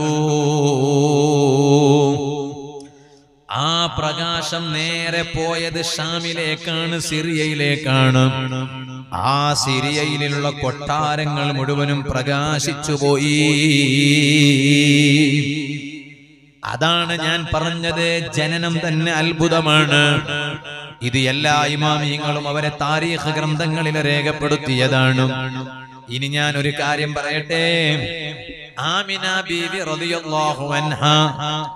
നബി സല്ലല്ലാഹു അലൈഹി വസല്ലമ തങ്ങളെ പ്രസവിച്ച ഉടനെ ആ പ്രസവിച്ച ഉടനെ നബി സല്ലല്ലാഹു അലൈഹി വസല്ലമ തങ്ങളെ പ്രസവിച്ച ഉടനെ ആമിന ബിബി റളിയല്ലാഹു അൻഹ ഒരു കാര്യം ചെയ്യും. നിങ്ങൾ ഇങ്ങോട്ട് നോക്കി. അത് നമ്മളെ കബീർ ഇമാം ഉസ്താദാണ്. അള്ളാഹു ആഫിയത് കൊടുക്കട്ടെ. ഇന്ന് വേദമൊന്നുമില്ലേ ഇന്ന് നമ്മളെ പരിപാടിക്ക് കൂടാന്ന് കരുതി ദേശാങ്കുളം ഉസ്താദ് അവരൊക്കെ വേദ പറയുന്ന ആളുകളാണ്. അല്ലാഹു അലൈഹി വസല്ലമ തങ്ങൾ തങ്ങളെ ആമിന ബീവി റളിയല്ലാഹു അൻഹ പ്രസവിച്ച ഉടനെ അതാ ഒരു ശബ്ദം കേൾക്കുകയാണ് ആമിന ബീവി റളിയല്ലാഹു അൻഹ. എന്താണ് ശബ്ദം എന്നല്ലേ? ഇന്നക്കി ഹമൽതി ബി സയ്യിദി ഉമ്മ. ഓ ആമിന ബീവി നിങ്ങളതാക്കിയല്ല ഈ സമുദായത്തിന്റെ നേതാവാണ് കുട്ടി. ഈ ഉമ്മത്തിന്റെ നേതാവാണ് കുട്ടി. ആ കുട്ടിയെയാണ് നിങ്ങൾ ഗർഭം ചുമന്നിട്ടുള്ളത്. അതുകൊണ്ട് നിങ്ങൾ ആ കുട്ടിയെ പ്രസവിച്ചാൽ ഫഖൂലി നിങ്ങൾ പറയണം ഒരു വാക്ക്. എല്ലാ ഗർഭിണികളും കുഞ്ഞിനെ പ്രസവിക്കുമ്പോ ആദ്യം ചെയ്യേണ്ടുന്നൊരു കാര്യമുണ്ട്. അതാണ് ഞാൻ ഇക്കാര്യം പറയുന്നതിന്റെ ഇടയിൽ ഉമ്മമാരെ ശ്രദ്ധയിൽപ്പെടുത്തുന്നത്. ചില ഉമ്മമാരുണ്ട്. പ്രസവിച്ച ഉടനെ ആദ്യത്തെ മൂന്നും പെൺകുട്ടികളാണെങ്കിൽ നാലാമത്തത് എന്താകണമെന്ന് ആഗ്രഹം ഉണ്ടാവും? പെണ്ണ് ആണോ? ആണോ? ആണോ? പിന്നെന്താ പിന്നെന്താ? ആണ്. ആണ്. ആണ്. എന്താ പെണ്ണിനോട് സ്നേഹം കുറഞ്ഞിട്ടൊന്നുമല്ല. രണ്ടും ഇരിക്കട്ടെ. പെണ്ണു ആണും രണ്ടും മിക്സ് ആയിരിക്കട്ടെ അങ്ങനൊന്നും ചെയ്തിട്ടില്ല. അള്ളാഹ് നമുക്ക് അങ്ങനെ ഒന്നും വരുത്താതിരിക്കട്ടെ. ആദ്യത്തെ മൂന്ന് പെണ്ണ് പ്രസവിച്ചാൽ എന്നാ പിന്നെ നാലാമത്തത് ഒരാണ് വേണം. എന്നുണ്ടാവും എന്നാ ആദ്യത്തെ മൂന്ന് ആദ്യത്തെ മൂന്ന് ആണാണെങ്കിലോ? നാലാമത്തത്? പെൺകുട്ടിയാകണം എന്നൊരാഗ്രഹം അത് ആഗ്രഹം. കാരണം ആൺകുട്ടിയെ കൊണ്ടുള്ള നേട്ടം പെൺകുട്ടികളെ കൊണ്ട് കിട്ടൂല. പെൺകുട്ടികളെ കൊണ്ടുള്ള നേട്ടം ആൺകുട്ടികളെ കൊണ്ട് കിട്ടൂല. എന്നാൽ ചില ആളുകൾക്ക് എല്ലാം പെൺകുട്ടികൾ അള്ള കൊടുത്തതൊക്കെ പെണ്ണനെയാണ്. അങ്ങനെയുണ്ട്. അമ്പ്യാക്കളെ ചരിത്രത്തിൽ അങ്ങനെയുണ്ട്. ചില അമ്പ്യാക്കൾക്ക് പെൺകുട്ടികളെ മാത്രമേ കൊടുത്തിട്ടുള്ളൂ. ചില അമ്പ്യാക്കൾക്ക് അള്ളാഹു തല ആൺകുട്ടികളെയും മാത്രമേ കൊടുത്തിട്ടുള്ളൂ. വേറെ ചില അമ്പ്യാക്കൾക്ക് ആണും പെണ്ണും കൊടുത്തു. വേറെ ചില ആളുകൾക്ക് അള്ളാഹു തല മക്കളെ കൊടുത്തില്ല. നബിമാരെ ചരിത്രം തന്നെ അങ്ങനെയാണ്. അപ്പോ സാരല്ല എല്ലാം കിട്ടിയത് ആൺകുട്ടികളാണെങ്കിൽ പെൺകുട്ടിയില്ല എന്ന വിഷമം വേണ്ട. കാരണം ആൺകുട്ടികളുടെ ഭാര്യമാർ നമ്മുടെ പെൺകുട്ടികളാണ്. എന്ന് തോന്നണം അമ്മായിമാക്കും തോന്നണം അതുപോലെ അമ്മോശനും തോന്നണം. എല്ലാം പെൺകുട്ടികളാണെങ്കിലോ? എല്ലാം പെൺകുട്ടിയാണെങ്കിൽ പിന്നെ ആൺകുട്ടി ഇല്ല എന്നൊരു സങ്കടം വേണ്ട. അള്ളാഹു തന്നത് അതിൽ ഹൈറാണെന്ന് കരുതിയിട്ട് വിശ്വസിക്കുക. പിന്നെ മനസ്സിലാക്കുക എന്താ? ഈ പെൺകുട്ടികളുടെ ഭർത്താക്കന്മാരുണ്ടല്ലോ. അവർ മരുമക്കളാണ്. അവർ സ്വന്തം മക്കളാണ്. ആൺകുട്ടികളാണ്. അങ്ങനെ കാണണം.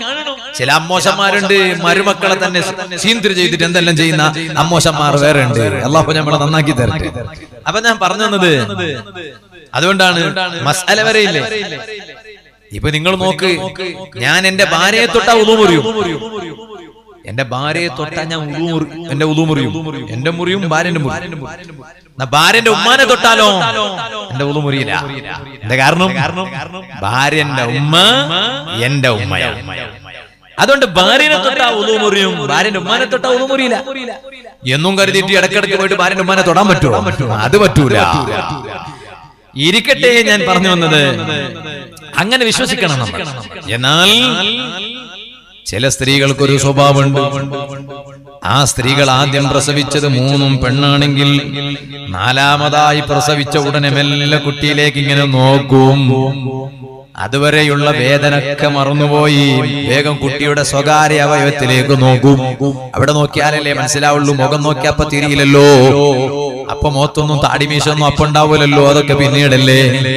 ആ സ്വകാര്യ ഭാഗത്തേക്കൊന്ന് നോക്കും. നോക്കുമ്പോ ആണാണെങ്കിൽ സന്തോഷമായി പെണ്ണാണെങ്കിൽ സന്തോഷം ഉണ്ടാവും. എന്നാലും കുറയില്ല എന്നാൽ ആണാവുമ്പോ പ്രതീക്ഷിച്ചത് കിട്ടിയല്ലോ എന്നറിഞ്ഞ സന്തോഷം വേറെയാണ്. എന്നാൽ ഉമ്മമാരെ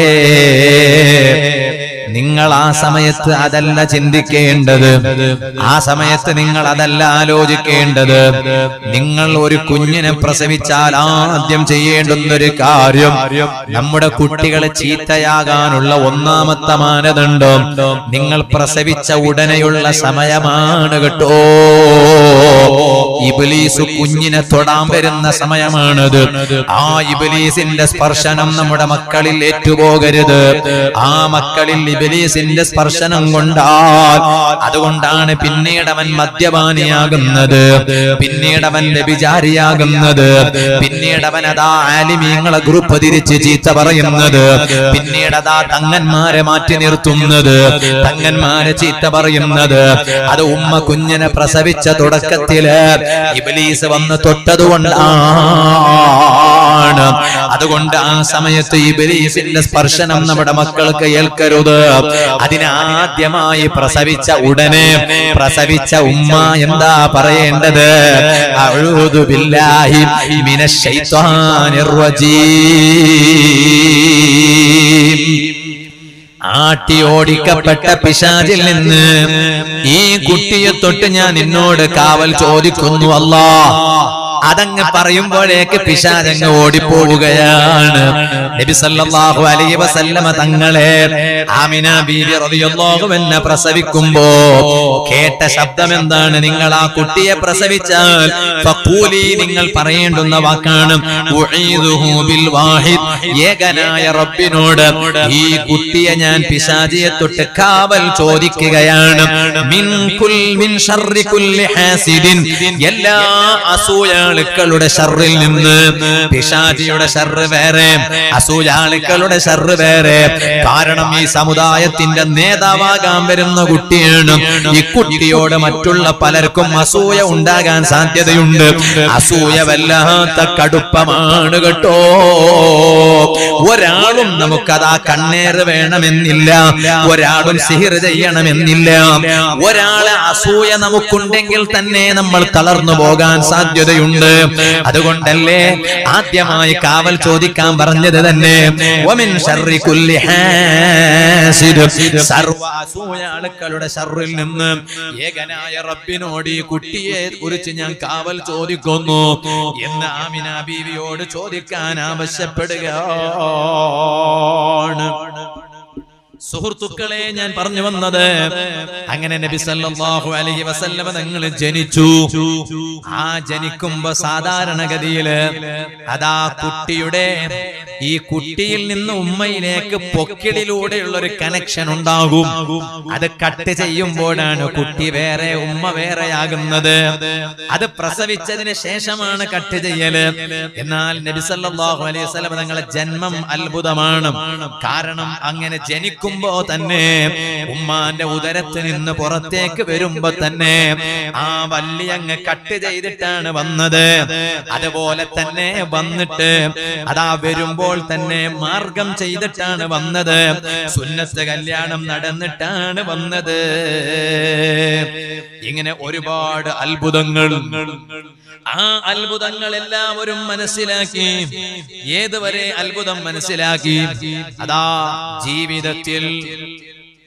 ചില മനുഷ്യന്മാരുണ്ട്. ഔറത്ത് കാണിച്ച് നടക്കുക എന്ന് പറഞ്ഞാൽ ഭയങ്കര ഇഷ്ടമാണ് നമ്മുടെ ഫുട്ബോൾ കളിക്കുന്ന ചില ചെറുപ്പക്കാരെ കണ്ടില്ലേ?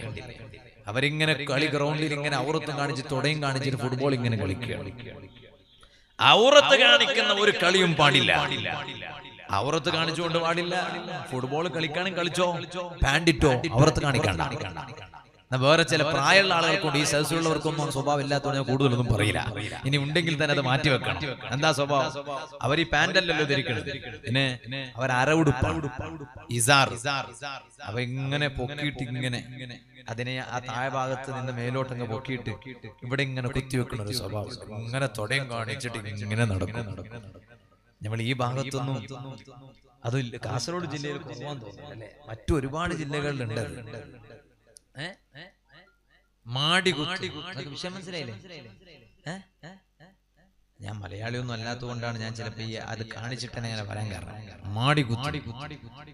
ഇന്നലെ ഞാൻ ചെറുവത്തൂർക്കടുത്ത ഒരു സ്ഥലത്ത് വേദന വേദന പറയുമ്പോ അപ്പൊ ഞാൻ അവിടെ പറഞ്ഞു ഈ കുട്ടികളൊക്കെ ഉറക്കാന് കുട്ടികൾ ഉറക്കാറ് പറയുന്ന സമയത്ത് കുട്ടികൾ ഉറങ്ങില്ല എന്ന് കണ്ടാൽ? ഉമ്മമാര് പലതും പറയും. എന്റെ നാട്ടിലൊക്കെ പറയുന്നത് ഉറങ്ങല. അല്ലെങ്കിൽ ഇപ്പൊ ജോയി ബണ്ട് ഗുമ്മ ബണ്ട് ഗുമ്മ ബണ്ട് എന്ന് പറയുമ്പോഴേക്ക് കുട്ടികൾ ഉറങ്ങിപ്പോയി. ജോയി ബണ്ട് എന്ന് പറയുമ്പോഴേക്ക് കുട്ടികൾ ഉറങ്ങിപ്പോയി. ഇത് അവിടെ ഞാൻ ഈ വെള്ളച്ചാൽ എന്ന സ്ഥലത്താണ് ചെറുവത്തൂറിന്റെ ഉള്ളിൽ ചീമേനിക്കൽ അപ്പൊ അവിടെ ഞാൻ സദസ്സിൽ ചോദിച്ചു ഇവിടെ എന്താ പറയുന്നത്? അപ്പൊ ഒരു കുട്ടി മുന്നിലുള്ള ഒരു കുട്ടി പറഞ്ഞു. എന്താ പറഞ്ഞത് റബ്ബേ? മാണ്ട. മാണ്ട വരൂ അങ്ങനെ എന്തോ ഒരു പ്രയോഗമാണ്. മാണ്ടാന്ന വേറെന്തോ അങ്ങനെ ഏതായാലും മാണ്ടാന്ന അങ്ങനെ പറഞ്ഞു മാണ്ട വരും. ഉറങ്ങടാ. അല്ലെങ്കിൽ ഇപ്പൊ മാണ്ട വരും. അങ്ങനെ ഒന്ന് രണ്ട് രണ്ട് മൂന്ന് ദിവസം മുമ്പ് തലശ്ശേരിക്കടുത്ത സ്ഥലത്ത് വേദന അപ്പൊ അവിടെ വേദന വേദന മുമ്പ് ഒരു വീട്ടിൽ ഭക്ഷണം കഴിച്ചിട്ട് ഭക്ഷണം കഴിച്ചിട്ട് ഇങ്ങനെ നമ്മുടെ ഡ്രൈവർ വണ്ടി ഇങ്ങനെ ബാക്കോട്ട് എടുക്കുകയാണ്. അപ്പൊ ഈ വാഹനത്തിലുള്ള അവിടുത്തെ ഒരു പ്രവർത്തകൻ പറഞ്ഞു പ്രശ്നമല്ല സാരല്ല വണ്ടി ബാക്കോട്ട് എടുത്തോളി. ബാക്കിൽ മുട്ടയുണ്ട് ബാക്കിൽ എന്തുണ്ട് മുട്ട മുട്ട. മുട്ടുണ്ട് സാധാരണഗതിയിൽ എന്റെ നാട്ടിലൊക്കെ മുട്ട എന്ന് പറയുന്നത് തലയിൽ മുടിയില്ലാത്ത ആൾക്കാണ്. മിറിണ്ട ബോർമണ്ട കാക്ക എന്ന് പറയും. മുട്ട. അതേ സമയത്ത് ഞാനിങ്ങനെ നോക്കി എന്താ ഈ മുട്ട ഉണ്ടെന്ന് പറഞ്ഞാൽ അപ്പോ ഇയാൾ പറയാണ് മുട്ട എന്ന് പറഞ്ഞ ഉസ്താദെ കയറ്റം അതാ അതാ. കയറ്റം ഇപ്പൊ ഈ കാറ്റല്ലേ ഇപ്പൊ ഈ ഇങ്ങോട്ട് വരുന്ന ഈ കാറ്റും ഇതൊരു മുട്ടയാണ്. അപ്പൊ അവിടെ ഇതേപോലെ ബാക്കിലൊക്കെ കയറ്റിട്ട് പറയാണ്. "ന- ധൈര്യത്തോടെ കാറ്റിക്കോളിന്ന് പറഞ്ഞു ഡ്രൈവറിനോട്. മുട്ടയാണ് ബാക്കിലുള്ളത് പേടിക്കൊടുന്നില്ല കാറ്റാണ് അങ്ങനെ ഭാഷയിൽ വലിയ വ്യത്യാസം. ഇരിക്കട്ടെ. ഇരിക്കട്ടെ. ഞാൻ പറഞ്ഞു വന്നത്. അപ്പോ ആ പറഞ്ഞ ആ കുത്തുന്ന ശൈലി. എന്നാ നബി സല്ലല്ലാഹു അലൈഹി വസല്ലമ തങ്ങളുടേതോ ജീവിതത്തിൽ ഒരു വട്ടം ഔറത്തിന്റെ ഒരു ഭാഗമങ്ങ് കണ്ടു. അതിനുശേഷം ഔറത്ത് ഒരിക്കലും വെളിവായിട്ടില്ല. എപ്പോഴാണ് ഔറത്തിന്റെ ചെറിയ ഭാഗം സ്വകാര്യ അവയവമല്ല? ചെറിയൊരു ഭാഗം കണ്ടത് എപ്പോഴാണ് കുറൈശികൾ കാബ നിർമ്മാണ പ്രവർത്തനം നടത്തുമ്പോ? കുറൈശികൾ കല്ലുകൾ ചുമന്നുകൊണ്ടു പോകുമ്പോ കുറൈശികൾക്കൊരു സ്വഭാവമുണ്ട്. ഇങ്ങനെ മുണ്ട് മടക്കി കുത്തുക എന്നത്. എന്നാൽ നബി സല്ലല്ലാഹു അലൈഹി തങ്ങൾ അങ്ങനെ ചെയ്തില്ല. ഈ പണിക്കാരൊക്കെ ചുമട് തൊഴിലാളികളെ കണ്ടിട്ടില്ലേ? അവരിങ്ങനെ ചുമന്ന വസ്തുക്കളൊക്കെ കൊണ്ടുപോകുമ്പോ ഇങ്ങനെ മടക്കി കുത്താറുണ്ട്. കുറേശികൾ അങ്ങനെ ചെയ്യുമ്പോ നബി സല്ലല്ലാഹു അലൈഹി വസല്ലമ തങ്ങൾ അങ്ങനെ ചെയ്തില്ല. കാരണം ഔറത്ത് വെളിവാകാതിരിക്കാനാണത്. പക്ഷേ ഒരു അതാ അവിടുന്ന് ആ സമയത്ത് നബി സല്ലല്ലാഹു അലൈഹി വസല്ലമ തങ്ങളോട് അതാ പറയപ്പെട്ടു. നിങ്ങളതാ അത് മുട്ടും അതാ മടക്കി കുത്തിക്കൊള്ളൂ. എന്നാ പിന്നെ നിങ്ങൾക്ക് അതാ സ്വസ്ഥമായി കൊണ്ടുപോകാൻ കഴിയുമല്ലോ. അങ്ങനെ അതാ മടക്കാൻ നോക്കുമ്പോ ഒരൽപ്പം അവറത്തിന്റെ ചെറിയ ഭാഗം അങ്ങ് വെളിവാഞ്ഞപ്പോ കുട്ടിക്കാലത്തുള്ള സംഭവമാണ് നബിയായിട്ടല്ല. അങ്ങനെ ഉണ്ടായപ്പോഴാണ് ഒരു ശബ്ദം കേൾക്കുന്നത് വേണ്ട. അപ്പോൾ തന്നെ അള്ളാഹുവിന്റെ സംരക്ഷണം കിട്ടിയിട്ടുണ്ട്. ഔറത്ത് മറക്കണം വേണ്ട. ഇത് കേട്ടതിന് ശേഷം പിന്നീട് ജീവിതത്തിൽ ഒരിക്കൽ പോലും ഔറത്ത് കണ്ടിട്ടില്ല.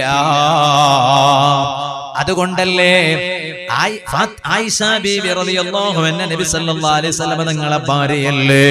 സ്വകാര്യ ജീവിതത്തിൽ പ്രവേശിച്ച മഹതിയല്ലേ? ആ മഹതി എവിടെ നിന്നാ പറഞ്ഞത്? എന്റെ സ്വകാര്യ അവയവം തങ്ങളെ കണ്ടിട്ടില്ല. തങ്ങളുടെ സ്വകാര്യ അവയവം ഞാൻ ഒരിക്കലും കണ്ടിട്ടില്ല. ആ സ്വകാര്യ ജീവിതത്തിന്റെ സമയത്ത് പോലും തങ്ങളുടെ ഔറത്ത് ഞാൻ കണ്ടിട്ടില്ല. ആയിഷാ ബീവി എന്ന് പറയുകയാണ് സുഹൃത്തുക്കളെ ഞാൻ പറഞ്ഞു വന്നത് അങ്ങനെ ജനിച്ചു അത്ഭുതത്തോടെ ജനിച്ചു പിന്നെ ഇങ്ങനെ വളരുന്നതും അത്ഭുതത്തോടെയാണ്. ആ അത്ഭുതം എല്ലാവരും നബി സല്ലല്ലാഹു അലൈഹി ഷാമിലേക്ക് പോയ സംഭവമുണ്ട്. ആ പ്രകാശം പോയത് തന്നെ ഷാമിലേക്കാണ്. ജനിച്ച ഉടനെ പ്രകാശം പോയത് ഷാമിലേക്കല്ലേ? ഞാൻ നേരത്തെ പറഞ്ഞില്ലേ? എന്നാൽ നബി സല്ലല്ലാഹു അലൈഹി വസല്ലം തങ്ങൾ ജനിച്ചതിന് ശേഷം അതാ ഷാമിലേക്ക് പോവുകയാണ്. ആരെ കൂടെയാണ് ഷാമിലേക്ക് പോകുന്നത്? പിതൃ സഹോദരനായ അബൂ തോലിബ് അവരെ കൂടെ ഒരു കച്ചവട സംഘത്തിൽ ഷാമിലേക്ക് പോവുകയാണ്. അങ്ങനെ പോകുന്നതിന്റെ ഇടയിൽ ഒരിടത്ത് ഇങ്ങനെ വിശ്രമിക്കാൻ ഇറങ്ങി നീണ്ട യാത്രയാണ്. ഇന്നത്തെ പോലെ സൗകര്യങ്ങളില്ല ഇന്നിപ്പോ നീണ്ട യാത്ര പോകുമ്പോ പോകുന്ന വഴിയിലൊക്കെ നമ്മുടെ നേതാക്കളുടെയും പ്രവർത്തകരും വീടാണ്. കേരള മുസ്ലിം ജമാഅത്തിന്റെ എസ് ഒ എസിന്റെയും ഒക്കെ നേതാക്കളുടെ പ്രവർത്തകർ വീടാണ്. അപ്പൊ പോകുന്ന വഴിയിൽ രണ്ടു മൂന്ന് ദിവസം തുടരെ വ്യാതുണ്ടാകുമ്പോ മുസ്ലിം ജമാഅത്തിന്റെ നേതാക്കൾക്കും പ്രവർത്തകർക്കൊക്കെ വിളിച്ചു പറയാം. നമ്മളിങ്ങനെ ആ വഴിക്ക് പോകുന്നുണ്ട്. ഹോട്ടലിൽ നിന്നും ഭക്ഷണം കഴിക്കേണ്ടി വരുന്നില്ല. അപ്പൊ ഭക്ഷണം വീട്ടിൽ സാധാ ഭക്ഷണം ഉണ്ടാക്കിയാൽ മതി എന്ന് പറയും. അതുപോലെ തന്നെ വിശ്രമിക്കാൻ സൗകര്യം കിട്ടും. അവിടെ പോയാൽ സൗകര്യം കിട്ടും. അതൊക്കെ നമ്മുടെ പ്രവർത്തനങ്ങൾ വളരെ സജീവമായപ്പോ എല്ലായിടത്തും നമ്മുടെ പ്രവർത്തനങ്ങൾ ഉള്ളത് കൊണ്ട് നമുക്ക് ഇന്ന് എല്ലാ സൗകര്യങ്ങളും ഉണ്ട്. അതേസമയം അന്ന് അങ്ങനെയല്ലല്ലോ. കച്ചവടത്തിന് വേണ്ടി ഇങ്ങനെ പോകണത് വല്ലാത്തൊരു പുറപ്പാടാണ്. ഇന്നത്തെ ഇന്നത്തെ കച്ചവടം ചെയ്യുന്ന ആളുകൾക്കൊക്കെ പഴയ കച്ചവടക്കാരുടെ മഹത്വം അറിയോ? ഇല്ല. ഇന്ന് അധ്വാനം ഇല്ലാതെ പൈസ ഉണ്ടാക്കണം. എല്ലാവർക്കും. അധ്വാനിക്കാൻ കഴിയില്ല. പൈസ ഉണ്ടാക്കണം. അതിനെന്താ ചെയ്യാ? അതിനൊരു പത്ത് ലക്ഷം രൂപ ഒരുത്തന്റെ കച്ചവടത്തിൽ ഷെയർ ഇടുക തന്നെ ഇയാൾ അധ്വാനിക്കണ്ട. അവൻ അധ്വാനിച്ചോളൂ. ഇയാൾക്ക് പത്ത് ലക്ഷത്തിന് എല്ലാ മാസം ലാഭം കൊടുക്കും. അങ്ങനെ ലാഭം കൊടുക്കും. ആദ്യം തന്നെ പറയും എല്ലാ മാസം ഇരുപത്തി അയ്യായിരം രൂപ ലാഭം തരും. ഇരുപത്തി അയ്യായിരത്തിന്റെ കച്ചവടം അവിടെ നടക്കുന്നുണ്ടോ? നടക്കുന്നില്ലെങ്കിൽ പിന്നെ ഇരുപത്തി അയ്യായിരം എല്ലാ മാസം കൊടുക്കൽ എങ്ങനെ തട്ടിപ്പല്ലേ? ആ ഷെയർ ബിസിനസ് ഹറാമാണ് പാടില്ല. ലാഭത്തിലും നഷ്ടത്തിലും കൂറാകണം. അതാണ് ഷെയർ ബിസിനസ് ഇരിക്കട്ടെ. പിന്നെ നോക്കുമ്പോ കച്ചവടം പൊളിഞ്ഞു. പൈസ തിരിച്ചു കൊടുക്കാൻ മറ്റേ ചങ്ങായിന്റെ കയ്യിൽ പൈസ ഇല്ല. എല്ലാം പ്രശ്നം തന്നെ. അധ്വാനല്ലാതെ പൈസ ഉണ്ടാക്കണം. പഴയ കാലത്തെ കച്ചവടക്കാർ അങ്ങനെയല്ല. അവർക്ക് ചെറുപ്പത്തിൽ ചില ആളുകളൊക്കെ പറയും ചെറുപ്പത്തിൽ തന്നെ ബോംബെയിലൊക്കെ പോയവരാണ്. ഈ കാസർഗോഡ് ജില്ലയിൽ നിന്ന് എത്ര ആളുകൾ എന്റെ കളശയിലൊക്കെ വന്നിട്ട് മരക്കച്ചവടം നടത്തിയിട്ട് ടിമ്പറിന്റെ കച്ചവടം നടത്തിയിട്ട് എത്ര പൈസ ഉണ്ടാക്കിയവരുണ്ട്? അള്ളാഹത്തെ അവർക്കൊക്കെ ബർക്കത്ത് ചെയ്യട്ടെ. എന്നാ അവരുടെയൊക്കെ പ്രയാസങ്ങൾ എത്രയാണ്? അബൂ താലിബ് പിതൃ സഹോദരന്റെ കച്ചവട സംഘത്തിൽ നബി സല്ലല്ലാഹു അലൈഹി വസല്ലം തങ്ങൾ ഷാമിലേക്ക് പോവുകയാണ്. ആ ഷാമിൽ പോകുന്നതിന്റെ ഇടയിൽ അതാ ഒരു പുരോഹിതന്റെ ടെന്റുണ്ട് ആ ടെന്റിന്റെ തൊട്ടടുത്ത് വിശ്രമിക്കാൻ ഇവർ ഇറങ്ങുകയാണ്. ആ ഇറങ്ങിയ സമയത്ത് പുരോഹിതൻ ഇത് കണ്ടു. അവിടെയുള്ള പുരോഹിതൻ ഒരു അത്ഭുതം കണ്ടു. ആ പുരോഹിതന് മുൻകാല വേദഗ്രന്ഥങ്ങളെ കുറിച്ച് അറിയാമായിരുന്നു. ആ പുരോഹിതൻ കണ്ട അത്ഭുതം എന്താണ് ഈ കച്ചവട സംഘത്തിൽ ഒരു ചെറിയ കുട്ടിയുണ്ട്. ആ കുട്ടിക്ക് മുകളിൽ മേഘമിങ്ങനെ തണലിട്ട് കൊടുക്കുകയാണ്. നല്ല ശക്തമായ ചൂടുള്ള സമയമാണ്. ആ സൂര്യന്റെ ചൂടുള്ള സമയത്ത് ഈ കച്ചവട സംഘത്തിലുള്ള ഈ ചെറിയ കുട്ടി ആ കുട്ടിക്ക് മേഘമിങ്ങനെ തണലിട്ട് കൊടുക്കുകയാണ്. ഈ അത്ഭുതം പൂർവകാല വേദഗ്രന്ഥങ്ങളെ കുറിച്ച് വിവരമുള്ള ഈ പുരോഹിതൻ കണ്ടപ്പോ ഈ പുരോഹിതന് തോന്നി ഒന്ന് ആ കുട്ടിയോട് അടുക്കണം ആ കുട്ടിയെ കൈപിടിക്കണം ആ കുട്ടിയോടൊന്ന് സംസാരിക്കണം.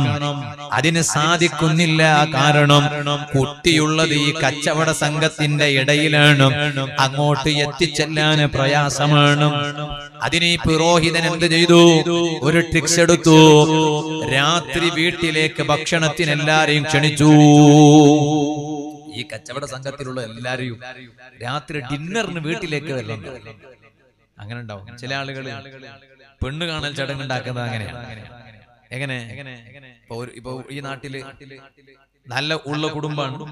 ദീനി ബോധമുള്ള കുടുംബമാണ്. നല്ല തറവാടാണ്.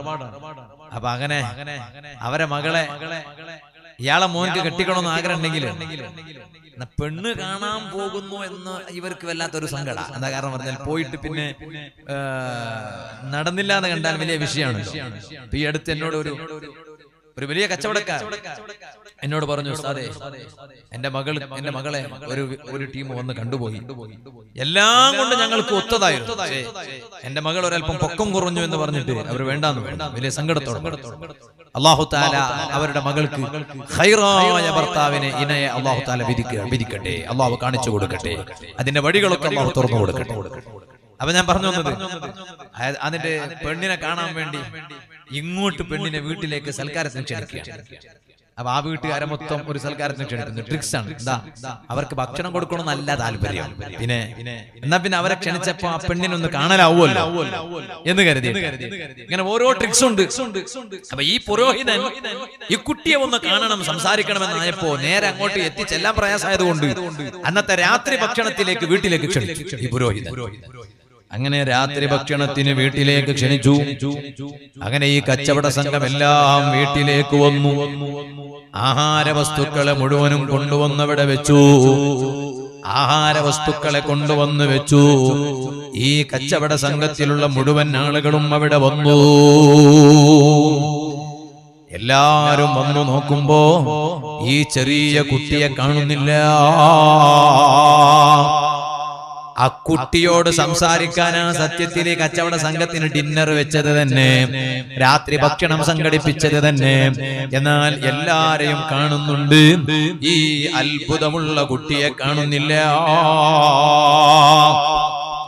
അപ്പൊ ഈ പുരോഹിതന് അത്ഭുതം തോന്നിപ്പോയി. വക്കാലലിൽ കൗമി ഈ പുരോഹിതൻ ആ സമൂഹത്തോട് ചോദിച്ചു നിങ്ങളെ ഈ കച്ചവട സംഘത്തിൽ നിന്ന് ആരെങ്കിലും ഇങ്ങോട്ട് വരാത്തവരുണ്ടോ? ഭക്ഷണം കഴിക്കാൻ വേണ്ടി ഇങ്ങോട്ട് വരാത്തവരുണ്ടോ? അവർ പറഞ്ഞു ഇല്ല എല്ലാരും വന്നിട്ടുണ്ടല്ലോ. ഫഖാല ബല. ഈ പുരോഹിതൻ പറഞ്ഞു അല്ല ഒരു കുട്ടിയെ കാണുന്നില്ല.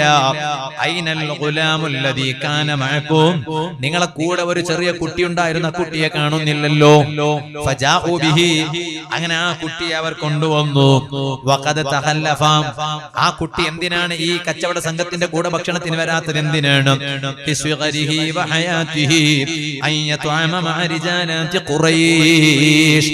വലിയവരെ കൂടെ ഭക്ഷണം കഴിക്കാൻ ആ കുട്ടിക്ക് ഒരു ലജ്ജ തോന്നിയതാണ് കുട്ടിയാണല്ലോ.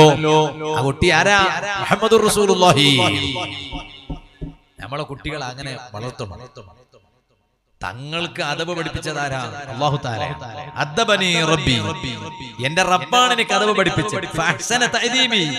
ഏറ്റവും നല്ല അതവ് പഠിപ്പിച്ചതാണ് എന്റെ റബ്ബ് എന്ന് നബി സല്ലല്ലാഹു അലൈഹി വസല്ലം പറഞ്ഞു. നമ്മുടെ മക്കൾക്ക് അതവ് പഠിപ്പിക്കണം. എങ്ങനെ അത് പഠിപ്പിക്കാം? അതിന്റെ ഒരു ചെറിയ ഉദാഹരണം പറയാം. വീട്ടിലേക്ക് അതിഥികൾ വന്നാൽ വീട്ടിൽ രണ്ട് തരം കുട്ടികളുണ്ട് എങ്ങനെ രണ്ട് തരം കുട്ടികൾ? മേശപ്പുറത്ത് അങ്ങനെ ഫ്രൂട്ട്സ് ഒക്കെ കൊണ്ടുവന്ന് വെച്ചിരിക്കും. എന്നാൽ ഈ വീട്ടിൽ ചില കുട്ടികളുണ്ട്. ഒറ്റൊരു ഫ്രൂട്ടും അതിരിക്ക് കൊടുക്കാൻ പെടൂല ഇവർ അങ്ങ് എടുത്ത് തിന്ന എന്ന് പറഞ്ഞിട്ട് ഇങ്ങനെ അവരെന്നെ ഇങ്ങനെ എടുത്ത് തിന്ന എന്നാ വേറെ ചില കുട്ടികളുണ്ട്. ആ കുട്ടികൾ ആ ഭാഗത്തേക്ക് അടുക്കേയില്ല. അവരിങ്ങനെ ദൂരം ഉണ്ടാവും. അവർ ഇവർ കഴിച്ചോട്ടെ അതിരുകൾ അങ്ങ് തിന്നോട്ടെ എന്ന് കരുതിയിട്ട് അവരിങ്ങനെ മാറി. എന്നാൽ രണ്ടാമതായി പറഞ്ഞ രൂപത്തിൽ വേണം നമ്മുടെ മക്കൾ അതിഥികൾക്ക് കൊണ്ടുവന്ന് വെച്ചാൽ പിന്നെ കുട്ടികൾ കൈയെടുത്തിട്ട് അവിടെ നിന്ന് തിന്നാൻ പാടില്ല. അത് ഇമാം അസാൻ അടുത്ത് ഹിയയിൽ പ്രത്യേകം പറഞ്ഞിട്ടുണ്ട്. കുട്ടികൾക്ക് അത് പഠിപ്പിച്ച ഭാഗത്ത്. കാരണം ഇങ്ങനെ തിന്നുമ്പോ ഈ അതിഥി എന്താ മനസ്സിലാക്കാൻ പാവം ഈ കുട്ടിന്റെ ഉപ്പ ഇന്നേ വരെ ഈ കുട്ടിക്ക് എന്ത് കൊടുത്തിട്ടില്ല? ഫ്രൂട്ട്സ് വാങ്ങി കൊടുത്തിട്ടില്ല. അങ്ങനെ ചോറ് കാണാത്ത ആളെ പോലെ അങ്ങനെ ഉണ്ടല്ലോ. ചില മനുഷ്യന്മാർ കല്യാണത്തിൽ പോയി ചുക്കും തിരക്കും കൂട്ടിയിട്ട് എന്തിനാ ബിരിയാണി കഴിക്കാൻ വേണ്ടി? ജീവിതത്തിൽ ഒരിക്കലും ബിരിയാണി കാണാത്തവരെ പോലെ. അങ്ങനെ. അപ്പൊ ഈ കുട്ടി അങ്ങനെ ചെയ്യുമ്പോ അങ്ങനെ തോന്നിപ്പോ അപ്പൊ അങ്ങനെ ചെയ്യാൻ പാടില്ല. എന്നാൽ അതിഥികൾ എന്ത് ചെയ്യണം? കുട്ടി ഇങ്ങനെ മാറി നിന്നാൽ നല്ല കുട്ടി ഇങ്ങനെ മാറി നിൽക്കുമല്ലോ എന്നാൽ ആ കുട്ടി മാറി നിന്നാൽ അതിഥി അവനെ കണ്ണിങ്ങനെ ചുറ്റിട്ട് അവനെ പേടിപ്പിക്കാനും പാടില്ല. പിന്നെ എന്ത് ചെയ്യണം? മോനെ ഇങ്ങോട്ട് വാന്ന് പിടിക്കണം എന്നിട്ട് ഈ ആപ്പിൾ കഷ്ണം എടുത്തിട്ട് ഒന്ന് കുട്ടി കൊടുക്കണം. അപ്പൊ കുട്ടിക്ക് നമ്മളെ കാണുമ്പോൾ വലിയ സ്നേഹം തോന്നും. എന്നാൽ ഞങ്ങളെ കാണുമ്പോൾ എപ്പോഴും കുട്ടികൾ ഞങ്ങൾ കൂടെ വരും. ചില മനുഷ്യന്മാരുണ്ട്. പള്ളിയിലായാലും പുറത്തായാലും ഒക്കെ കുട്ടികളെ കാണുമ്പോൾ കണ്ണിങ്ങനെ വരച്ചിട്ട് പേടിപ്പിക്കുന്നു. എന്നാ അവൻ വിളിച്ചാലും ഈ കുട്ടികൾ വരൂല. കാരണം? അവൻ പോലീസാണ് എല്ലാ നാട്ടിലുണ്ടാവും അങ്ങനത്തെ ചില പോലീസന്മാർ എല്ലാരും അവരോട് അവരുടെ കുട്ടികളെ പേടിപ്പിക്കാൻ വേണ്ടി എന്റെ നാട്ടിലുണ്ടായിരുന്നു അങ്ങനത്തെ ഒരു പോലീസ്.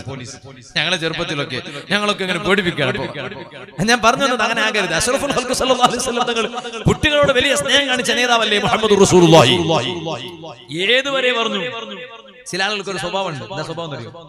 കുട്ടികളെ വിളിച്ചാൽ കുട്ടികൾ വരില്ല വരാതിരിക്കും. എല്ലാം പഠിപ്പിച്ച നേതാവല്ലേ നബി സല്ലല്ലാഹു അലൈഹി വസല്ലം തങ്ങൾ വരാതിരിക്കുമ്പോ ഇങ്ങനെ ഞാൻ എനിക്കൊന്ന് കൊണ്ടുവന്നിട്ടുണ്ട് പാവല്ല കുട്ടി കുട്ടിക്ക് കാപട്യൊന്നുമില്ലല്ലോ കുട്ടി നല്ല ഖാലിദീഹനല്ലേ നിഷ്കളങ്കനല്ലേ? ഇതിങ്ങനെ കൈ ഇങ്ങനെ ചുറ്റിപ്പിടിച്ച് കണ്ടപ്പോ കുട്ടി ഇങ്ങനെ അടുത്തേക്ക് വരും. ഇതെടുക്കാൻ വേണ്ടി നമുക്ക് ഒന്നുമില്ല അവക്ക് പിടിക്കാൻ ഫഹിയ അങ്ങനെ ചെയ്യാൻ പാടില്ല അത് കള്ളം പറയലാണ്. കള്ളം പറഞ്ഞ കുറ്റം കിട്ടുമോ കയ്യിലൊന്നും ഇല്ലാതെ തിരക്കേടില്ല മിഠായി വല്ലതും കയ്യിൽ ഇങ്ങനെ പിടിച്ചിട്ട് പിന്നെ വിളിക്കുന്നതിന് തിരക്കേടില്ല. അല്ലെങ്കിൽ വേറെ എന്തെങ്കിലും കയ്യിൽ പിടിച്ചിട്ട് വിളിക്കുന്നതിന് തിരക്കേടില്ല. അതേ സമയത്ത് ഒന്നും ഇല്ലാതെ ഇങ്ങനെ പിടിച്ചിട്ട് കൈ തുറന്ന് ഒന്നും ഇല്ലാതായാൽ അത് കള്ളം പറഞ്ഞതിന് തുല്യമാണ്. കള്ളം കള്ളം പറഞ്ഞതിന് കുറ്റം കിട്ടും. എന്ന് നബി സല്ലല്ലാഹു അലൈഹി വസല്ലം. കുട്ടികളെ വളരെയധികം സ്നേഹിച്ചു. അതുകൊണ്ടാണ് നബി സല്ലല്ലാഹു അലൈഹി വസല്ലം നിങ്ങൾ റോട്ടിൽ ഇങ്ങനെ പോകുമ്പോ എല്ലാ കുട്ടികളും തങ്ങളടുത്തേക്ക് ഇങ്ങനെ ഓടി വരും അന്ത ഉമ്മുൻ അം അബൂ മറഅയ്നാ ഫീഹിമാ مثل حسنك قط يا سيدي خير النبي الصلاة على النبي والسلام على الرسول الشفيع الأبتحي والحبيب العربي ഉമ്മയിൽ നിന്ന് കിട്ടാത്ത സ്നേഹമാണ് ആ നേതാവിൽ നിന്ന് കിട്ടുന്നത്.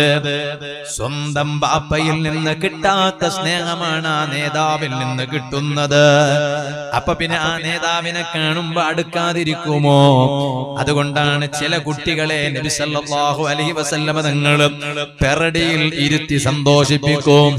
വേറെ ചില കുട്ടികളെ മുന്നിൽ ഇങ്ങനെ കയ്യിലെടുക്കും. അപ്പൊ പെറടിയിൽ ഇരുത്തിയ കുട്ടികളോട് മുന്നിൽ നബി സല്ലല്ലാഹു അലൈഹി വസല്ലം തങ്ങൾ കൈപിടിച്ച കുട്ടികളില്ലേ?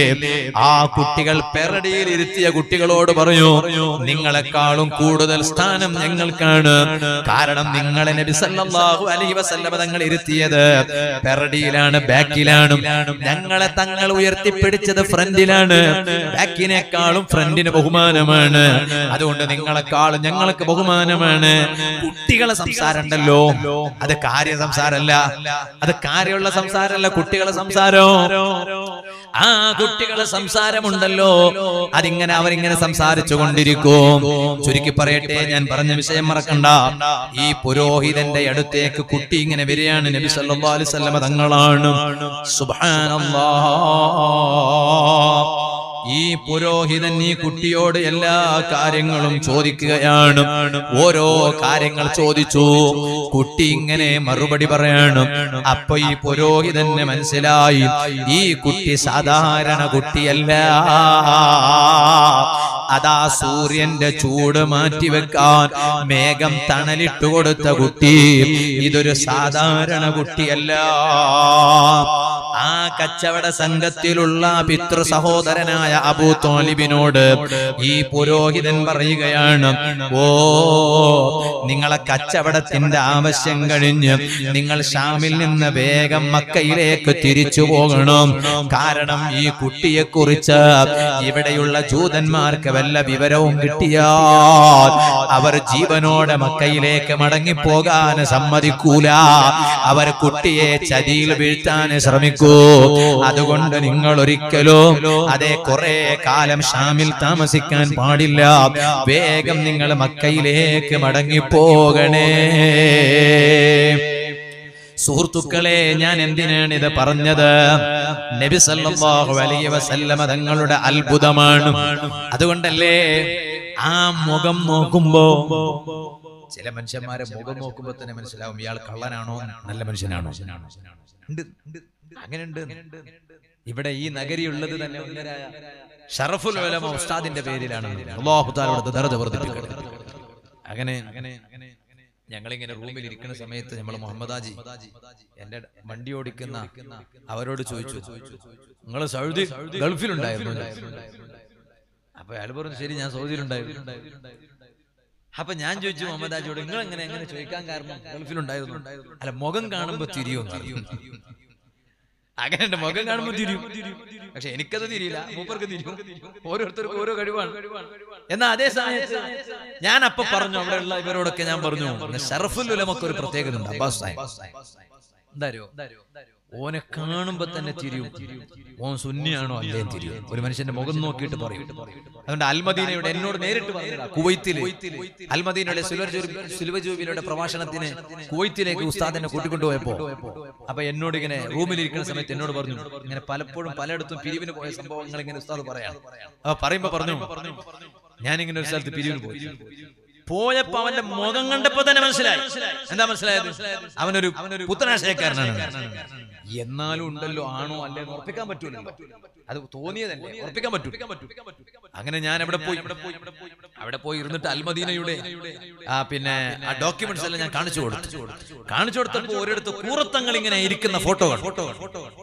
കൂറത്തങ്ങൾക്ക് തങ്ങളെ തീരെ കണ്ടുകൂടാ ഈ മനുഷ്യന്മാർ മോനെ അപ്പൊ അബ്ബാസ് എന്നോട് പറയാണ് കൂറത്തങ്ങളെ ഫോട്ടോ കണ്ടപ്പോഴേക്ക് ഇവൻ പറഞ്ഞു ഇയാളാണോ എന്നും പറഞ്ഞിട്ട് കൂറത്തങ്ങളെ വല്ലാതെ അബാസ നിസ്സാരപ്പെടുത്തി പറഞ്ഞു എനിക്കെന്തിന് ഇവന്റെ പണം? എനിക്കെന്തിന് ഇവന്റെ പണം? ഊറത്തങ്ങളെ കുറിച്ച് പറഞ്ഞാൽ പിന്നെ ഞങ്ങൾക്ക് അത് സഹിക്കാൻ കഴിയോ? ഞങ്ങളെ നേതാവല്ലേ?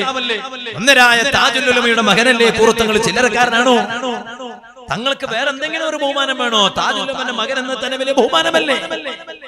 എനിക്ക് സഹിച്ചില്ല. ഞാൻ അവിടെ ചിലക്കാതെ പോടാന്ന് പറഞ്ഞ് ഞാൻ ഇറങ്ങി ഓർന്നു പൈസ കിട്ടിയില്ലെങ്കിൽ എന്താ? നമ്മളെ തങ്ങന്മാരെ കുറ്റപ്പെടുത്തിയിട്ട് എന്തിനാണ് ഇവന്റെ പൈസ? സുബ്ഹാനല്ലാഹ്.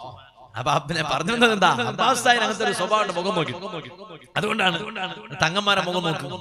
എന്റെ മുഖം പോലെ ഈ മുഖം എന്തിനു പറ്റൂ? തങ്ങന്മാരെ മുഖം കാണുമ്പോ തന്നെ ചില ആളുകൾ കാണുമ്പോ തന്നെ ചോദിച്ചു പോകും നിങ്ങൾ തങ്ങളുട്ടിയാണെന്ന് ചോദിച്ചു കാരണം അവരുടെ മുഖത്തിന് ലോക നേതാവിന്റെ പ്രകാശത്തിന്റെ ബാക്കിയാണ് അതുകൊണ്ട് ആരാബിയായ മനുഷ്യൻ പറഞ്ഞു. എന്താ? ആദ്യമായി ഒരു ആറാബിയായ മനുഷ്യൻ നബിസാസങ്ങളെ മുഖത്തേക്ക് ഇങ്ങനെ നോക്കി. നോക്കി. നോക്കിയപ്പോ തന്നെ ഫഖാല പറഞ്ഞു വല്ലാഹി മാ ഹുവ ബിവജ്ഹി കദ്ദാബ്. ഇതൊരു കള്ള മനുഷ്യന്റെ മുഖമൊന്നുമല്ല നല്ല മനുഷ്യന്റെ മുഖമാണ് നബിസാസങ്ങളെ മുഖം കാണുമ്പോൾ തന്നെ ചില മനുഷ്യന്മാരെ അവരെത്ര വന്നിട്ട് ചിരിച്ച് സംസാരിക്കുമ്പോഴും ചിലപ്പോ അവരുടെ മുഖം കാണുമ്പോൾ തന്നെ തിരിയും ഇവനാൾ പകൽ മാന്യനാണ്. അങ്ങനെ പകൽ മാന്യന്മാരായ ചില മനുഷ്യന്മാരും രാത്രി കള്ളന്മാരാ. പകൽ നല്ല മാന്യന്മാരാണ്. അവന്റെ മുഖം കാണുമ്പോൾ തിരിയും. നബി സല്ലല്ലാഹു അലൈഹി വസല്ലമ തങ്ങളെ മുഖം ആദ്യമായി കണ്ടപ്പോൾ തന്നെ അറാബിയായ മനുഷ്യൻ പറഞ്ഞു "വല്ലാഹി മാ ഹുവ ബിവജ്ഹി ഇതൊരു കള്ളന്റെ മുഖമല്ല. കള്ള ലക്ഷണമുള്ള മുഖമല്ല. സുഹൃത്തുക്കളെ നബി സല്ലല്ലാഹു അലൈഹി വസല്ലമ തങ്ങൾ പിന്നീട് അതാ ഖദീജ ബീവി റളിയല്ലാഹു അൻഹയെ കല്യാണം കഴിക്കാൻ പോവുകയാണ്. ആ സംഭവങ്ങൾ വളരെ രസകരമായ സംഭവമാണ്. ഒരുപാട് അത്ഭുതകരമായ സംഭവമാണ്. ഖദീജ ബീവിയെ കല്യാണം കഴിക്കാൻ പോകുന്ന സംഭവങ്ങൾ നബി സല്ലല്ലാഹു അലൈഹി വസല്ലമ തങ്ങൾക്ക് ഇരുപത് വയസ്സായപ്പോ തങ്ങളിങ്ങനെ കുട്ടിക്കാലത്ത് ഇങ്ങനെ വലുതായി കൊണ്ടിരിക്കുകയാണ്. അഞ്ചു വയസ്സ് പിന്നിട്ടു പത്ത് പിന്നിട്ടു പതിനഞ്ച് പിന്നിട്ടു ഇരുപതായി. ആ ഇരുപത് വയസ്സ് എത്തിയപ്പോ അതാ ഖദീജ ബീബി റളിയല്ലാഹു അൻഹയുടെ കച്ചവട സംഘത്തിൽ പോവുകയാണ്. ഇരുപത് വയസ്സായ സമയത്ത് കുറെ സംഭവങ്ങൾ പറയാനുണ്ട് അതിപ്പോ സമയമില്ല. ഇരിക്കട്ടെ ഞാൻ അതിപ്പോ ഇവിടെ പറയുന്നില്ല. ഞാൻ വേറെ സ്ഥലത്തേക്ക് മാറ്റി വെക്കുകയാണ് എന്നാൽ ഖദീജ അൻഹയുടെ കച്ചവട സംഘത്തിലാണ് രണ്ടാമതായി സിറിയയിലേക്ക് നബി സല്ലല്ലാഹു അലൈഹി വസല്ലം പോകുന്നത്. ഒന്നാമതായി പോകുന്നത് പിതൃ സഹോദരന്റെ കൂടെ ഞാൻ നേരത്തെ പറഞ്ഞില്ലേ അബു താലിബിന്റെ കൂടെ കച്ചവട സംഘത്തിലാണ്. രണ്ടാമത്തേത് ഖദീജ ബീബി റളിയല്ലാഹു അൻഹയുടെ കച്ചവട സംഘത്തിലാണ്. ആ കച്ചവട സംഘത്തിൽ പോയപ്പോ ഖദീജ ബീവിയുടെ ഒരു അടിമയാണ് മൈസിറത്ത്. ആ മൈസിറത്ത് വല്ലാത്ത അത്ഭുതം കണ്ടു. ഒരാളെ മനസ്സിലാക്കണമെങ്കിൽ ഏറ്റവും നല്ലത് അയാളെ യാത്രയ്ക്ക് കൂടെ കൊണ്ടുപോകണം. യാത്രയ്ക്ക് കൂടെ കൊണ്ടുപോകണം. ഒറ്റ നോട്ടത്തിൽ ഒരാളെ കാണുമ്പോഴേക്ക് നമുക്ക് വിധി എഴുതാൻ പറ്റൂല. അതുകൊണ്ട് നബിസ്വല്ലാസം പറഞ്ഞു ഒരാളെ നിനക്ക് വിലയിരുത്തണമെങ്കിൽ നിന്റെ യാത്രയിൽ അയാളെ കൂടെ കൊണ്ടുപോകണമെന്ന് മുഹമ്മദ് അപ്പൊ പുതിയാപ്പിളൊക്കെ ആക്കണമെങ്കിൽ ശ്രദ്ധിച്ചാൽ മതി. ഇന്നിപ്പോ ഏറ്റവും വലിയ ടെൻഷനാണ്. ഏറ്റവും വലിയ എത്ര ആളുകൾ വലിയ പ്രയാസത്തിൽ എന്നോട് എന്നോട് ഒരാൾ വലിയ സങ്കടത്തോടെ എന്നോട് പറഞ്ഞു പറഞ്ഞു പേരൊന്നും പറയരുത്. എന്റെ മകൾ വലിയ പ്രയാസത്തിൽ കല്യാണം കഴിഞ്ഞിട്ട് ഞങ്ങൾ ഒരുപാട് അങ്ങോട്ട് കൊടുത്തു സഹായിച്ചു. വലിയ പ്രയാസത്തിലാണ് ഇപ്പൊ ഒന്ന് ഒന്ന് വേർപിരിഞ്ഞ് കിട്ടണം. അതിന് വേണ്ടി ദ്വാ ചെയ്യണമെന്നാ പറയണം. ബാപ്പ. മകൾക്ക് തൊലാക്ക് കിട്ടണം. അതിന് ദ്വാ ചെയ്യണമെന്നാണ് എന്നിട്ട് നല്ലൊരു പുതിയാപ്പിളനെ കിട്ടിയിട്ട് കല്യാണം നടക്കണം എന്നും പറഞ്ഞു നീ അവർക്ക് ഹൈറാണെങ്കിൽ അതിന്റെ വഴികൾ നീ തുറന്നു കൊടുക്കണേ റഹ്മാൻ. ഞാൻ പറഞ്ഞു വന്നത് യാത്ര കൊണ്ടോ അപ്പൊ കല്യാണത്തിന് മകൾക്ക് ഒരു ആലോചന ശരിയാക്കണമെങ്കിൽ ആദ്യം അങ്ങനെ ഒരു സ്ഥലത്ത് പോകുമ്പോൾ അല്ലെങ്കിൽ ഇങ്ങനെ യാത്രയിൽ കുറെ ഉണ്ടാവുമല്ലോ. യാത്രയിൽ ചിലപ്പോ പ്രയാസം സഹിക്കേണ്ടി വരും. കേരളത്തിൽ ഇങ്ങനെ യാത്രയ്ക്ക് പോയാൽ ഒരു പ്രയാസം ഉണ്ടാവില്ല. ആകെ മംഗലാപുരത്ത് കാസർഗോഡ് ഇടയിൽ ഒരു പ്രയാസം റോഡിന്റെ പ്രയാസം മാത്രമാണ്. എന്താണ് റബ്ബെ? അവിടുന്ന് ഇങ്ങോട്ട് അതിന് കോഴിക്കോട് വരെ പോകുന്നതിന് ഒരു പ്രയാസം ഉണ്ടാവില്ല മംഗലാപുരം കാസർഗോഡ് നിങ്ങളൊക്കെ ചേർന്നിട്ട് അത് വേഗം നന്നാക്കാൻ വേണ്ടി ശ്രമിക്കണം എന്ന് ഞാൻ സാന്ദർഭികമായി ഓർമ്മപ്പെടുത്താം അതിനും ഇടയ്ക്ക് വെച്ചിട്ട് ഈ തലപ്പാടി ഭാഗത്ത്. ഈ അതിർത്തി പ്രദേശം പാവങ്ങളാ അവരങ്ങ് കർണാടകക്കാരും അത് തൊടാൻ വരൂല. കേരളക്കാരും തൊടാൻ വരില്ല കേരളക്കാർ പറയും അത് കർണാടകക്കാർ ചെയ്യട്ടെ. കർണാടകക്കാർ പറയും അത് കേരളം. ഇപ്പോഴും നിങ്ങൾക്ക് അറിയുമെന്ന് അറിയില്ല ഈ ഈശ്വരമംഗലം ഭാഗത്ത് പള്ളത്തൂർ പള്ളത്താറ് അതൊരു സ്ഥലമുണ്ട്. കൊട്ടിയാടില്ലേ അവിടെ ഇപ്പോഴും മറ്റൊരു സ്ഥലം. പാലം. ബാക്കൊക്കെ ഉഷാർ അവിടെ മാത്രം എന്താ അങ്ങനെ പത്രത്തിന്റെ കാലം? നടന്നുകൊണ്ടാ? സലാമത്തെ അവിടുത്തെ ബുദ്ധി തോന്നി അപ്പൊ അതുകൊണ്ട് നിങ്ങളൊക്കെ അതിനോട് ശ്രമിക്കണം എന്ന് പ്രത്യേകിച്ച് ഓർമ്മപ്പെടുത്തുകയാണ് ഞാൻ പറഞ്ഞു വന്നത് അപ്പൊ യാത്രയിൽ ഭക്ഷണം കേരളത്തിലൂടെ പോകുമ്പോ ഭക്ഷണത്തിന്റെ പ്രയാസമൊന്നുമില്ല. എന്നാ ഉത്തരേന്ത്യയിൽ പോയി നോക്കണം യാത്ര ചെയ്യണം. ഞങ്ങൾക്ക് വേണ്ട ഭക്ഷണം അവിടെ കിട്ടിയോളുന്നില്ല ഇനി കിട്ടിയാൽ തന്നെ അതിന്റെ ഉള്ളിൽ എന്താണ്? സുബാന ജല ജലാലോ ഓരോ പുഷുക്കൾ ഇങ്ങനെ പൊരിച്ചു വെച്ചതുണ്ടോ? ഭക്ഷണത്തിന്റെ ഉള്ളിൽ ചിക്കൻ ബിരിയാണി അല്ല. എന്താ? അത് ഉണ്ടാക്കുമ്പോ അതിന്റെ കൂടെ ഇങ്ങനെ പോയതാ. ബിരിയാണി ഉണ്ടാക്കുമ്പോ അതിന്റെ കൂടെ പോയതാണ്. ഇരിക്കട്ടെ ഞാൻ പറഞ്ഞു വന്നത് അപ്പൊ നല്ല ത്യാഗം കഴിയും ഇവൻ സബരെടുക്കുന്നുണ്ടെങ്കിൽ ആ തിരക്കടില്ല. എന്റെ മോളിൽ നിന്ന് വല്ല പ്രയാസം വന്നാൽ നമുക്ക് ക്ഷമിക്കാനുള്ള കഴിവൊക്കെ ഉണ്ട്. ഇല്ല ഇവൻ അങ്ങനെ സബറെടുക്കാനൊന്നും കഴിയുന്നില്ല. ഒരു യാത്രയിൽ തന്നെ ഇവർക്ക് സബരെടുക്കാൻ കഴിയുന്നില്ലെങ്കിൽ എന്റെ മകളെ കൂടെ ജീവിക്കാൻ എനിക്ക് എന്ത് സബർ വരും എന്ന് നമ്മൾ ആലോചിക്കണം വിലയിരുത്തണം. ഇരിക്കട്ടെ ഞാൻ പറഞ്ഞു വന്നത്. ആ യാത്രയിൽ പോകുമ്പോ ഖദീജ ബീവി റളിയല്ലാഹു അൻഹയുടെ അടിമ മൈസറത്ത് വലിയ അത്ഭുതം കാണുകയാണ്. എന്താണ് അത്ഭുതം? അതാ നബി സല്ലല്ലാഹു അലൈഹി വസല്ലമ തങ്ങൾ നട്ടുച്ച സമയത്ത് ഈ കച്ചവട സംഘത്തിൽ ഇങ്ങനെ പോകുമ്പോ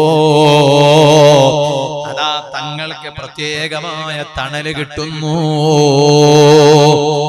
വേറെ ആർക്കും തണൽ കിട്ടുന്നില്ല തങ്ങൾക്ക് പ്രത്യേകമായ തണൽ കിട്ടുന്നു. സുബ്ഹാനല്ലാ ആ തണൽ കിട്ടിയ രംഗങ്ങളെല്ലാം പോയി. ഖദീജ ബീവി റളിയല്ലാഹു അൻഹയോട് ഈ മൈസറത്തങ്ങ് പറഞ്ഞു പോരാ. ജീവിതത്തിൽ അത്രയും വലിയ ലാഭം കൊയ്തെടുത്ത കച്ചവടം വേറെയില്ല. തങ്ങൾ ആ തങ്ങൾ പോയ കച്ചവട സംഘത്തിലൂടെയാണ് ഖദീജ ബീവി റളിയല്ലാഹു അൻഹക്ക് ജീവിതത്തിൽ വലിയ ലാഭം കൊയ്തെടുക്കാൻ കഴിഞ്ഞത്. എന്നിട്ട് അതാ നബി സല്ലല്ലാഹു അലൈഹി വസല്ലമ തങ്ങൾ മടങ്ങി വന്നു. എല്ലാ രംഗങ്ങൾ നബി സല്ലല്ലാഹു അലൈഹി വസല്ലമ തങ്ങളെ കുറിച്ച് മൈസറത്ത് പറഞ്ഞു. അപ്പൊ ഖദീജ ബീവി റളിയല്ലാഹു അൻഹ നബി സല്ലല്ലാഹു അലൈഹി വസല്ലമ തങ്ങളോട് കല്യാണം ആലോചന നടത്തുകയാണ്. ഖദീജ ബീവി തങ്ങളോട് ഇങ്ങോട്ട് കല്യാണ ആലോചന നടത്തുകയാണ്. അന്ന് നബി സല്ലല്ലാഹു അലൈഹി വസല്ലമ തങ്ങളെ വയസ്സ് എത്രയാണ്? സുബ്ഹാനല്ലാഹ് തങ്ങളെ വയസ്സ് അതാ ഇരുപത്തി അഞ്ച് വയസ്സാണ്. നബി സല്ലല്ലാഹു അലൈഹി വസല്ലമ തങ്ങൾക്ക് ഇരുപത്തി അഞ്ച് വയസ്സാണ്. ഖദീജ ബീബി റളിയല്ലാഹു അൻഹക്കോ ഖദീജ ബീവിക്ക് നാൽപ്പതിന്റെയും അതുപോലെ മുപ്പതിന്റെയും ഇടയിലുള്ള വയസ്സാണ്. അപ്പൊ ഏകദേശം അതാ അതാ ബൈനൽ ഖാമിസത്തി വസ്സലാസീന വൽ അർബഈന. മുപ്പത്തിയഞ്ചിന്റെയും നാൽപ്പത്തിയഞ്ചിന്റെയും ഇടയിലുള്ള പ്രായമാണ്. ശരിക്കും യുവത്വം തീർന്നുകൊണ്ടിരിക്കുന്ന സമയമാണ്. നബി അലൈഹി തങ്ങളെ പ്രായമോ? യുവത്വം തുടങ്ങുന്ന സമയമാണ്. ഖദീജ റളിയല്ലാഹു അൻഹ തങ്ങൾ അങ്ങോട്ട് പോയി കല്യാണം അന്വേഷിച്ചതല്ല. ഖദീജ ബീവി ഇങ്ങോട്ട് വന്ന് ആലോചന നടത്തുകയാണ്. എന്തിനാണ് ഖദീജ ബീവി തങ്ങളെ കല്യാണം കഴിക്കണമെന്ന് ആഗ്രഹിച്ചത്? ഖദീജ ബീവി തന്നെ പറയുകയാണ് വഹുസ്നി ഖുലുഖിക. നബിയെ ഓ മുഹമ്മദ്. അന്ന് നബി സല്ലല്ലാഹു അലൈഹി വസല്ലം തങ്ങൾ നബിയായിട്ടില്ല. നാൽപ്പതാമത്തെ വയസ്സിലല്ലേ നബിയാകുന്നത്? ഇരുപത്തിയഞ്ച് വയസ്സല്ലേ ആയിട്ടുള്ളൂ. ഇരുപത്തഞ്ച് വയസ്സാകുമ്പോ വേഗം കല്യാണം കഴിക്കാൻ നോക്കണം ചെറുപ്പക്കാരൊക്കെ. ചില ചെറുപ്പക്കാരുണ്ട് മുപ്പതും കഴിഞ്ഞു മുപ്പത്തഞ്ചും കഴിഞ്ഞ്. ഞാനിപ്പോ അടുത്ത ദിവസത്ത് അവിടെ ഉണ്ട് നാൽപ്പത് വയസ്സുള്ള കല്യാണം കഴിഞ്ഞില്ല നാൽപ്പത് വയസ്സുള്ള കല്യാണം കഴിഞ്ഞിട്ടില്ല. അപ്പൊ എന്നോട് പറഞ്ഞു ഇവൻ മാത്രമല്ല ജ്യേഷ്ഠൻ അമ്പതായിട്ടുണ്ട് കല്യാണം കഴിഞ്ഞിട്ടില്ല. എന്ന്." ആ അതാ പ്രശ്നം. ജ്യേഷ്ഠനെ ക്ലിയർ ചെയ്ത് കൊടുത്തെങ്കിലല്ലേ അനുജന്റെ റൂട്ട് ക്ലിയർ ആവും. ഒരു ചെറുപ്പക്കാരൻ എനിക്ക് വാട്സപ്പിൽ ഇങ്ങനെ മെസ്സേജ് അയച്ചിട്ട് പറഞ്ഞു ഉസ്താദ് എന്റെ ജ്യേഷ്ഠന്റെ കല്യാണമൊക്കെ ഉണ്ട്. അത് വഴികളൊക്കെ തുറന്നു കിട്ടാനും വേഗം റഹത്തായി കിട്ടാൻ ദ്വാരക്കണം ഉസ്താദ്. ഇവൻ പറയുമ്പോൾ തന്നെ എനിക്ക് എന്തോ സംശയം തോന്നി. അത്ര ആത്മാർത്ഥതയോടുകൂടിയാണ് ജ്യേഷ്ഠന്റെ ജ്യേഷ്ഠനോട് സ്നേഹം ഉണ്ടാവും ഇല്ലാന്നല്ല എന്നാ ഇത് കേട്ടതിന് ശേഷം ഇവന്റെ അടിയിൽ വീണ്ടും ഒരു മെസ്സേജ് വന്നു. ഞാനത് വളരെ ആവേശത്തോടെ കേട്ടു. എന്താ പറയണത് ഉസ്താദെ അത് കഴിഞ്ഞിട്ട് വേണം എന്റെ കല്യാണം റെഡിയാൻ വേണ്ടിട്ട് അതുകൊണ്ടാണ് ഉസ്താദ് വേഗം റെഡിയായി കിട്ടാൻ വേണ്ടി ദ്വാരം അതുകൊണ്ട് എല്ലാ ജ്യേഷ്ഠന്മാരോടും ഞാൻ പറയാണ് അഞ്ചന്മാരൊക്കെ കല്യാണം നടക്കണമെങ്കിൽ നിങ്ങൾ കല്യാണം കഴിക്കണം ആദ്യം. അല്ലെങ്കിൽ അവർക്കൊരു വിഷമല്ലേ ജ്യേഷ്ഠനുണ്ട് ജ്യേഷ്ഠൻ കല്യാണം കഴിച്ചിട്ട് അഞ്ചിന് കല്യാണം കഴിച്ചു അതുകൊണ്ട് നിങ്ങൾ ആ റൂട്ട് ക്ലിയർ ചെയ്ത് കൊടുക്കണം. കുറെ ഒന്നും നീട്ടി കൊണ്ടുപോകാൻ പറ്റൂല. ചില മനുഷ്യർ ചെറുപ്പക്കാരൊക്കെ ഉണ്ട് കല്യാണം കഴിക്കാതെ കുറെ കാലം ഇങ്ങനെ നടക്കുന്നു. എന്നിട്ട് കണ്ടു കെട്ടിയ പെണ്ണിന്റെ കൂടെ ഇങ്ങനെ നടക്കുകയാണ്. അങ്ങനെ ആകാൻ പാടില്ല. നമ്മുടെ ഒക്കെ ആ ബന്ധങ്ങളൊക്കെ അള്ളാഹു താല ഹലാലാക്കി തരണം. അതിന് നിക്കാഹ് വേണം. എന്നിട്ട് ഇങ്ങനെ ഫോണിൽ ഇങ്ങനെ അന്യ പെൺകുട്ടിയോട് ഇങ്ങനെ സംസാരിക്കുന്ന സ്വഭാവം അങ്ങനാകാൻ പാടില്ല പെൺകുട്ടികൾക്കും അതുപോലെ തന്നെയാണ്. വിവാഹപ്രായം എത്തിയാൽ എന്നാൽ വേഗം അങ്ങ് കെട്ടിച്ചേക്കാനുള്ള ശ്രമം നടത്തണം. അല്ലെങ്കിൽ അവർ നിങ്ങൾ പറഞ്ഞതാണ്. അല്ലെങ്കിൽ ഫിത്തനുണ്ടാവും. എന്താ ഫിത്തന? ഒളിച്ചോട്ടം. അതിനേക്കാൾ വലിയ ഫിത്തന എന്താ? കല്യാണം ശരിയാക്കി കൊടുത്തില്ലെങ്കിൽ ഒളിച്ചോട്ടും ചില രക്ഷിതാക്കളുണ്ട് പഠനം തീരട്ടെ എന്ന് എന്നിട്ട് ഇങ്ങനെ ഡോക്ടർ പഠിപ്പിക്കുകയാണ് മറ്റേ പഠിപ്പിക്കാൻ പഠനം തീരുന്നാൽ പിന്നുണ്ടോ? ഡോക്ടർ പഠനം തീരുമ്പോഴേക്ക് ഇവൾക്ക് വയസ്സത്രയായി എന്നോട് എന്നോട് മകൾക്ക് ഡോക്ടർ പഠിപ്പിച്ച ഒരു വലിയ പണക്കാരൻ വലിയ സങ്കടത്തോടെ എന്നോട് പറഞ്ഞു ഞാൻ വിദേശത്ത് പോയപ്പോ ഇപ്പൊ പുതിയ റെഡിയായി കിട്ടുന്നില്ല ഉസ്താദെ ദ്വേ ചെയ്യണോ? എന്നിട്ട് എന്നോട് നോക്കാൻ പറഞ്ഞു. ഞാൻ തീരെ താല്പര്യം കാണിക്കാത്ത രണ്ട് കാര്യമാണ്. ഒന്ന് പെണ്ണ് കാണിക്കലും മറ്റൊന്ന് പള്ളി കുസ്താന് കൊടുക്കലും. ഇത് തീരെ ഞാൻ താല്പര്യം കാണിക്കില്ല എന്തേ കാരണം എന്ന് പറഞ്ഞാലും നന്നായി കിട്ടിയാലോ? നന്നായി കിട്ടിയാൽ ആരും സന്തോഷം പറയില്ല ഇങ്ങോട്ട്. ഉസ്താദെ വളരെ നന്നായിട്ടുണ്ട്. എവിടെങ്കിലും പ്രശ്നം വന്നാലോ? പ്രശ്നം വന്നാലേ? അപ്പൊ തന്നെ പറയും പണ്ടാര ഇത് മറ്റേ മൊയിലാരുണ്ടാക്കി തന്നതാന്ന് എനിക്ക് ശാപം വെക്കാം. ഞാൻ പറഞ്ഞു വന്നത് അങ്ങനെ കുറെ പഠിപ്പിച്ചിരുന്ന കാര്യമല്ല. എന്നോട് ആരെങ്കിലും വിളിച്ചിട്ട് ചോദിച്ചാൽ പഠനം ഇങ്ങനെ എടുക്കുന്നുണ്ട് ഉസ്താദെ. എന്താ ചെയ്യേണ്ടത്? നല്ലൊരു ആലോചന വന്നിട്ടുണ്ടെങ്കിൽ ഞാൻ പറയും. വേഗം കെട്ടിച്ചേക്കാം. എന്ത് പഠനം? പഠനം? വേണം വേണ്ടെന്നല്ല. അല്ലെങ്കിൽ പഠിപ്പിച്ചു പോകൂലേ. കാ- കാണുന്നില്ല ഇപ്പൊ എത്ര ഒളിച്ചോട്ടങ്ങൾ നടക്കുന്നത്? രക്ഷിതാക്കൾ അത് ചിന്തിക്കണം ഇരിക്കട്ടെ. ഞാൻ പറഞ്ഞ വിഷയത്തിലേക്ക് തന്നെ മടങ്ങ. ഞാൻ പറഞ്ഞു വന്നത് ഖദീജ ബീവി റളിയല്ലാഹു അൻഹാ നബി സല്ലല്ലാഹു അലൈഹി വസല്ലം നിങ്ങളോട് ഇങ്ങോട്ട് അന്വേഷ ആലോചന നടത്തുകയാണ്. ആ ആലോചന നടത്താനുള്ള കാരണം തങ്ങളോട് പറയാണ് നബിയേ മുഹമ്മദേ അന്ന് നബിയായിട്ടില്ല സല്ലല്ലാഹു അലൈഹി വസല്ലം. നബിയെ എന്ന് ഞാൻ വിളിക്കുന്നത് എന്റെ ശൈലിയിലെട്ടോ? ഖദീജ ബീവി അങ്ങനെ പറഞ്ഞു എന്നല്ല. ഓ എനിക്ക് നിങ്ങളെ കല്യാണം കഴിക്കണമെന്നുണ്ട്. വേറെ പുരുഷന്മാർ ഇവിടെ കിട്ടാത്തത് കൊണ്ടൊന്നുമല്ല. ഓരോരുത്തരും കാത്തിരിക്കുകയാണ് ഖദീജ ബീവിയെ എല്ലാം തികഞ്ഞ മഹതിയാണ്. ഒരൽപ്പം പ്രായമുള്ളൂ എന്നേയുള്ളൂ എല്ലാം തികഞ്ഞ മഹതിയാണ്. വലിയ അതാ സമ്പന്നയാണ്. ഖദീജ ബീബി നബി സല്ലല്ലാഹു അലൈഹി വസല്ലം തങ്ങളെ ഇങ്ങോട്ട് ആലോചന നടത്തുമ്പോ പറഞ്ഞ ന്യായം നബിയേ മുഹമ്മദേ സല്ലല്ലാഹു അലൈഹി വസല്ലം ഞാൻ നിങ്ങളെ കല്യാണം കഴിക്കാൻ ആഗ്രഹിക്കാൻ കാരണം തങ്ങളെ സ്വഭാവം നല്ല സ്വഭാവമാണല്ലോ. ഒന്നാമത്തെ മാനദണ്ഡം അതാണ് സ്വഭാവം നല്ലത്. നബിതങ്ങളെ സ്വഭാവം നല്ല സ്വഭാവമാണ്. അതുകൊണ്ടല്ലേ ഖുർആൻ പറഞ്ഞത്? "വ ഇന്നക ലഅലാ ഖുലുഖിൻ അദീം." നബിയെ തങ്ങൾ അതിമഹത്തായ സ്വഭാവത്തിലാണ് വിരാജിക്കുന്നത്. അതിമഹത്തായ സ്വഭാവത്തിന്റെ ഉടമയാണ്. സുഹൃത്തുക്കളെ നമ്മൾ സ്വഭാവം നന്നാക്കണോ? സ്വഭാവം മോശമായാൽ വളരെ അപകടമാണ്. ഖൈറുക്കും അഹ്സനുക്കും അഖ്ലാഖാ. നിങ്ങളിൽ ഏറ്റവും ഉത്തമൻ ആരാണ്? കുറെ നിസ്കരിച്ചവനോ കുറെ വാദ പറഞ്ഞവനോ കുറെ വാദ കേട്ടവനോ കുറെ ഖുറാനോദിയവനോ സ്വലാത്തു ചൊല്ലിയവനോ അല്ല. നിങ്ങളിൽ ഏറ്റവും ഹൈറായവൻ നല്ല സ്വഭാവക്കാരനാണ് കേട്ടോ.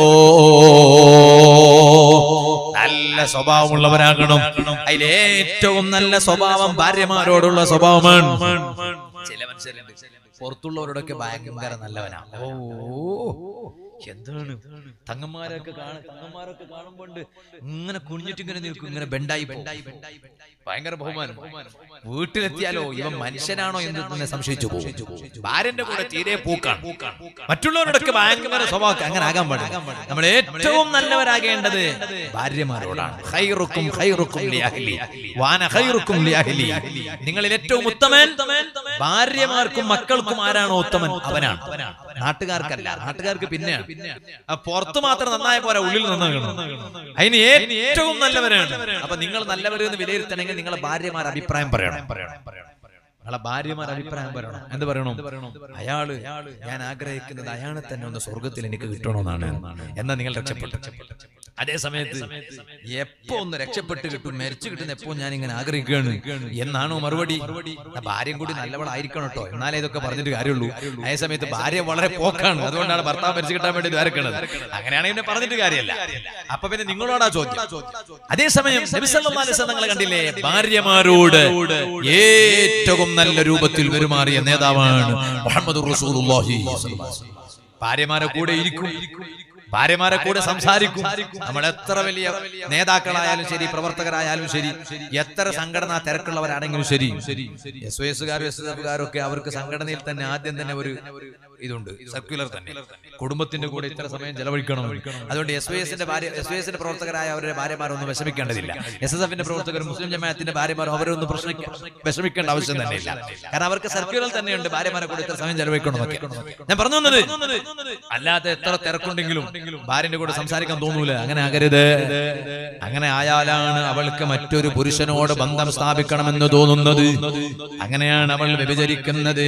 തോന്നിവാസം ചെയ്യുന്നത്. അങ്ങനെ ആയാൽ അതിന് കാരണക്കാരൻ ഭർത്താവല്ലേ?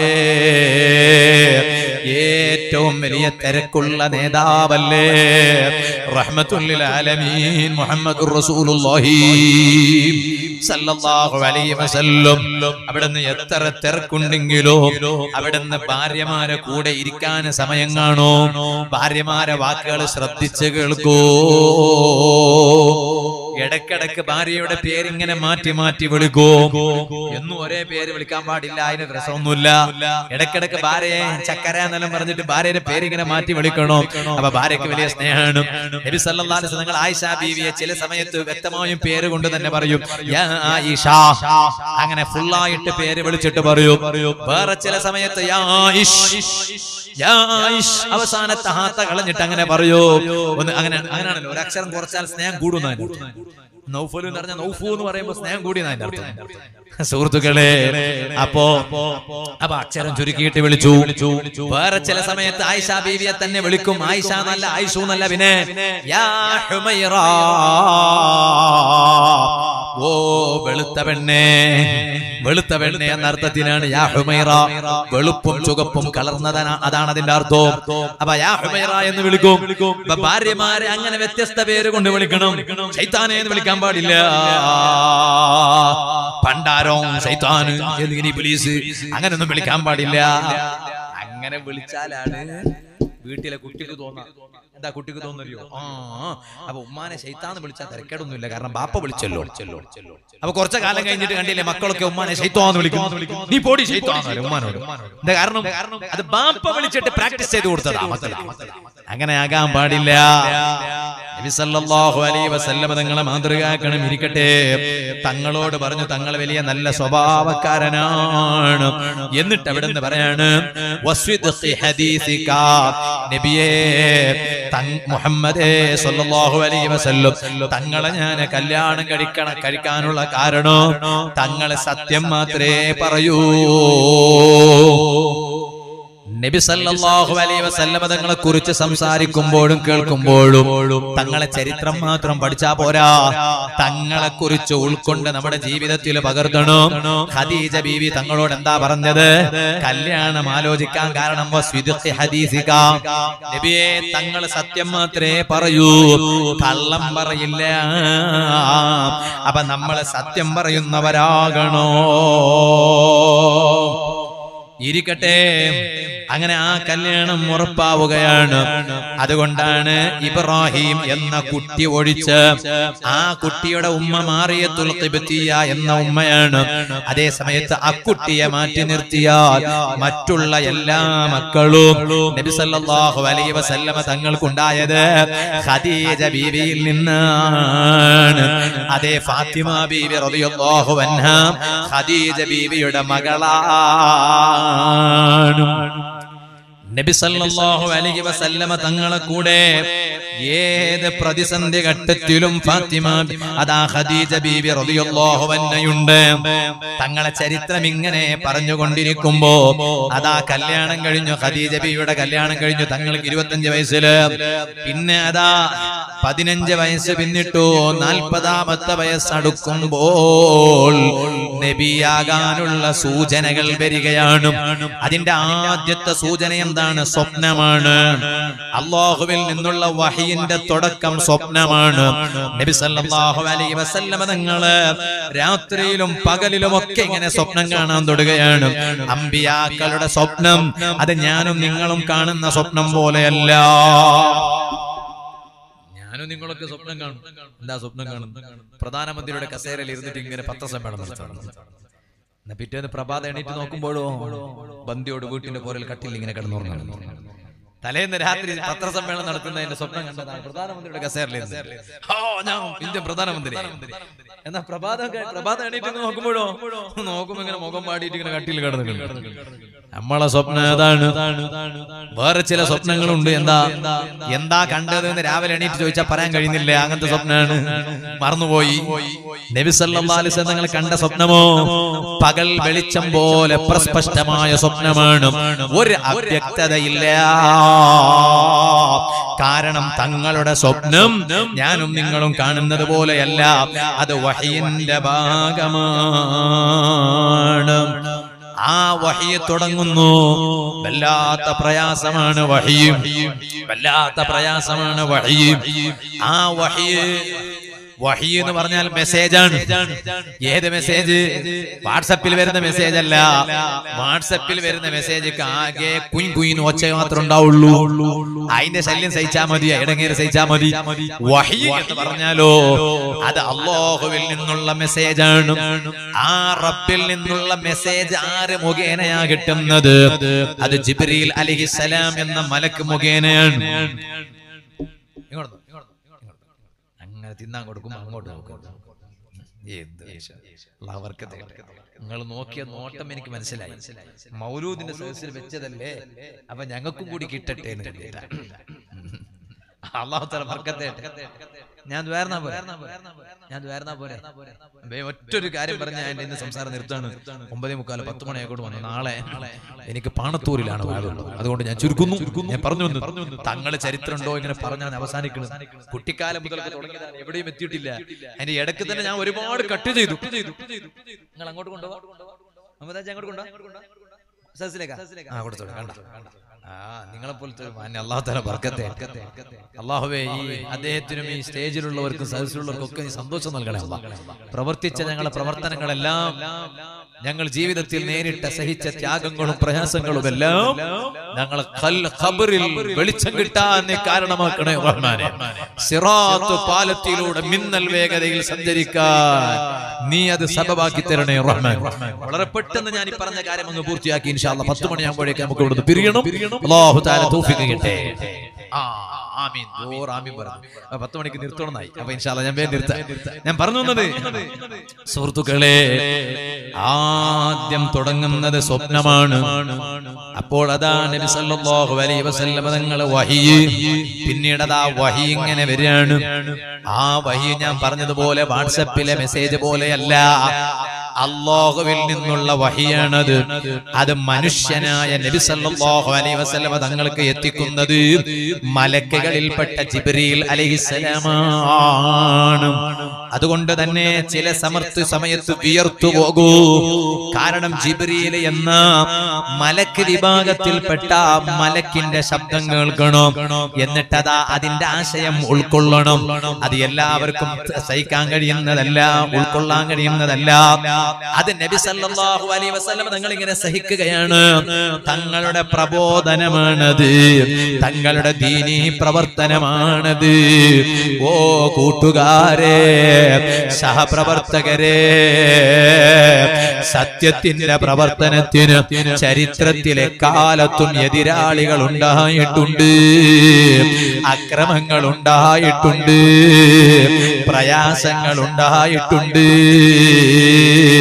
ആ പ്രയാസങ്ങളെല്ലാം ഈമാനിന്റെ മാധുര്യം കൊണ്ട് നേരിടുമ്പോ പടച്ചറപ്പിന്റെ കോടതിയിൽ വലിയ സ്ഥാനം കിട്ടിപ്പോയി. ചുട്ടുപൊള്ളുന്ന മണലിൽ കൊണ്ടുവന്ന് ഇട്ടിട്ട് റളിയല്ലാഹു മക്കയിലെ മുശരിക്കീങ്ങൾ അതിക്രമിച്ചപ്പോ ബിലാൽ അൻഹു പറഞ്ഞ വാക്കെന്താണ്?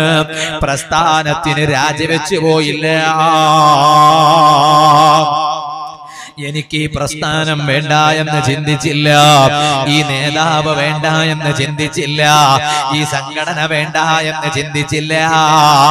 ഈ സംഘടന ആഹൃത്തിനുള്ളതാണ് കബറിൽ വിശ്രമിക്കുമ്പോ വെളിച്ചം കിട്ടാനുള്ളതാണ്. ദുനിയാവിന്റെ പെരുമക്കല്ല. ദുനിയാവിന്റെ പേരിനല്ല. ദുനിയാവിന്റെ പ്രശസ്തിക്കല്ല. അതുകൊണ്ടല്ലേ ബിലാൽ റളിയല്ലാഹു അൻഹു ചുട്ടുപൊള്ളുന്ന മണലിലങ്ങിട്ടിട്ട് മക്കയിലെ മുശരിക്കീങ്ങളെ ശിക്ഷിക്കുമ്പോ അവിടുന്ന് പ്രസ്ഥാനം രാജിവെച്ചു പോയില്ല. അസമയത്തും അവിടുന്ന് പറഞ്ഞ മുദ്രാവാക്യം എന്താണ്? അല്ലാഹു അഹദ് അല്ലാഹു അഹദ് അല്ലാഹു അഹദ് അല്ല ഏകനാണ് അല്ല ഏകനാണ്. ആ സത്യം വിളിച്ച് പറയാതിരിക്കില്ല ചെറുപ്പക്കാരെ കാരണവന്മാരെ ഉമൈർ തങ്ങളെ ചരിത്രം അറിയില്ലേ? വലിയ കോടീശ്വരനല്ലേ പണക്കാരനല്ലേ? അത്രയും വലിയ കുപ്പായം ധരിച്ച വേറെ സ്വാമിയുണ്ടോ അത്രയും വലിയ മുന്തിയ ചെരിപ്പ് ധരിച്ച വേറെ ആളുണ്ടോ? അതാ പണം വലിച്ചെറിഞ്ഞു സമ്പത്ത് വലിച്ചെറിഞ്ഞു. ഹബീബായ തങ്ങളോടുള്ള സ്നേഹം മനസ്സിൽ കൂടിയപ്പോ തങ്ങളെ പ്രസ്ഥാനത്തിൽ മെമ്പർഷിപ്പ് സ്വീകരിച്ചു. അതാ യുദ്ധഭൂമിയിലെത്തി. അവിടത്തെ കയ്യിൽ പതാകയുണ്ട്. ആ പതാക കയ്യിൽ പിടിച്ചതാ യുദ്ധം ചെയ്യുമ്പോ ശത്രുക്കൾ വന്ന് പറയാണ് ഓ സബേ അപ്പതാക എങ്ങ് വലിച്ചെറിയണം? അല്ലെങ്കിൽ അതാ കയ്യങ്ങ് വെട്ടിയെടുക്കൂ. തങ്ങൾ പറഞ്ഞു ഇത് സാധാരണ പതാകയല്ല. ഈ പതാക എന്റെ കയ്യിൽ തന്ന നേതാവാണ്. റഹ്മത്തുള്ളിൽ ആലമീന മുഹമ്മദ് തങ്ങൾ. അതുകൊണ്ട് ഇപ്പതാക വലിച്ചെറിയുന്ന പ്രശ്നം തന്നെ ഇല്ല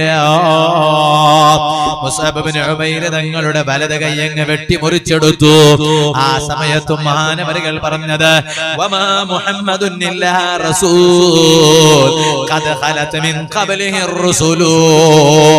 ആ മുദ്രാവാക്യത്തിൽ അങ്ങ് ഉറച്ചു നിൽക്കുകയാണ് മുഹമ്മദ് നബി സല്ലല്ലാഹു അലൈഹി വസല്ലം തങ്ങൾ അള്ളാഹുവിന്റെ റസൂലാണ് റസൂലാണ് റസൂലാണ്. അതിലൊരു മാറ്റമില്ല. ഇടത് കൈ കൊണ്ട് പതാക കയ്യിൽ പിടിച്ചു. ഇടത് കൈ അങ്ങ് വെട്ടി മുറിച്ചെടുത്തു. അപ്പോഴതാ പതാകയെ രണ്ട് ഭാഗത്തുള്ള തോളം കൈ കൊണ്ട് നെഞ്ചിലേക്ക് മാരിടത്തേക്ക് ചേർത്തി പിടിച്ചിട്ട് പറഞ്ഞു ഓ ശത്രുക്കളെ ഇടത് കൈ വെട്ടി മുറിച്ചെടുത്താലും സാരമില്ല. എന്നെ നിങ്ങൾ ചിന്ന ഭിന്നമാക്കി വലിച്ചെറിഞ്ഞാലും സാരമില്ല പറയാനുള്ള മുദ്രാവാക്യം ഒന്നേയുള്ളൂ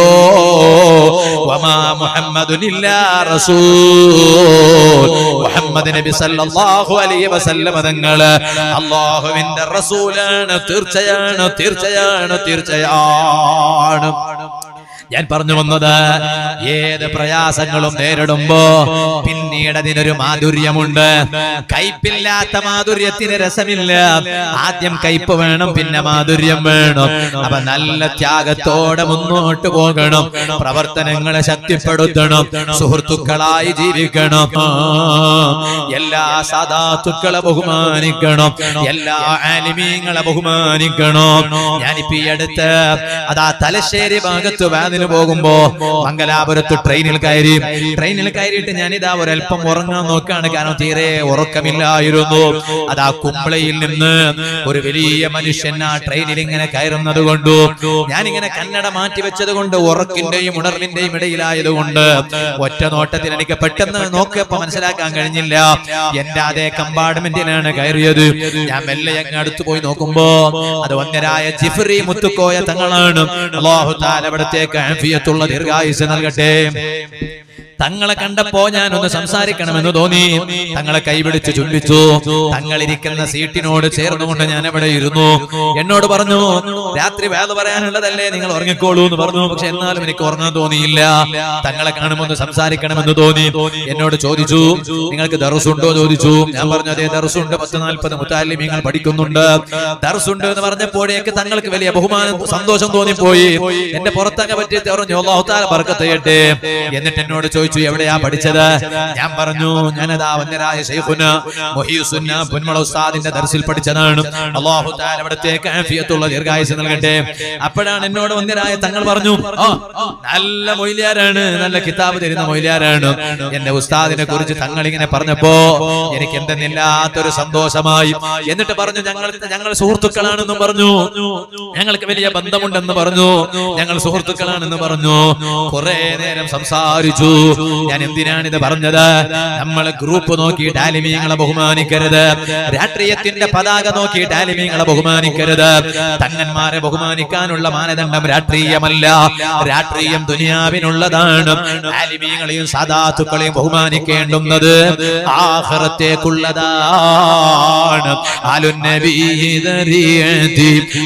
ഇലൈഹി മസീലതി അർജു ബിഹിം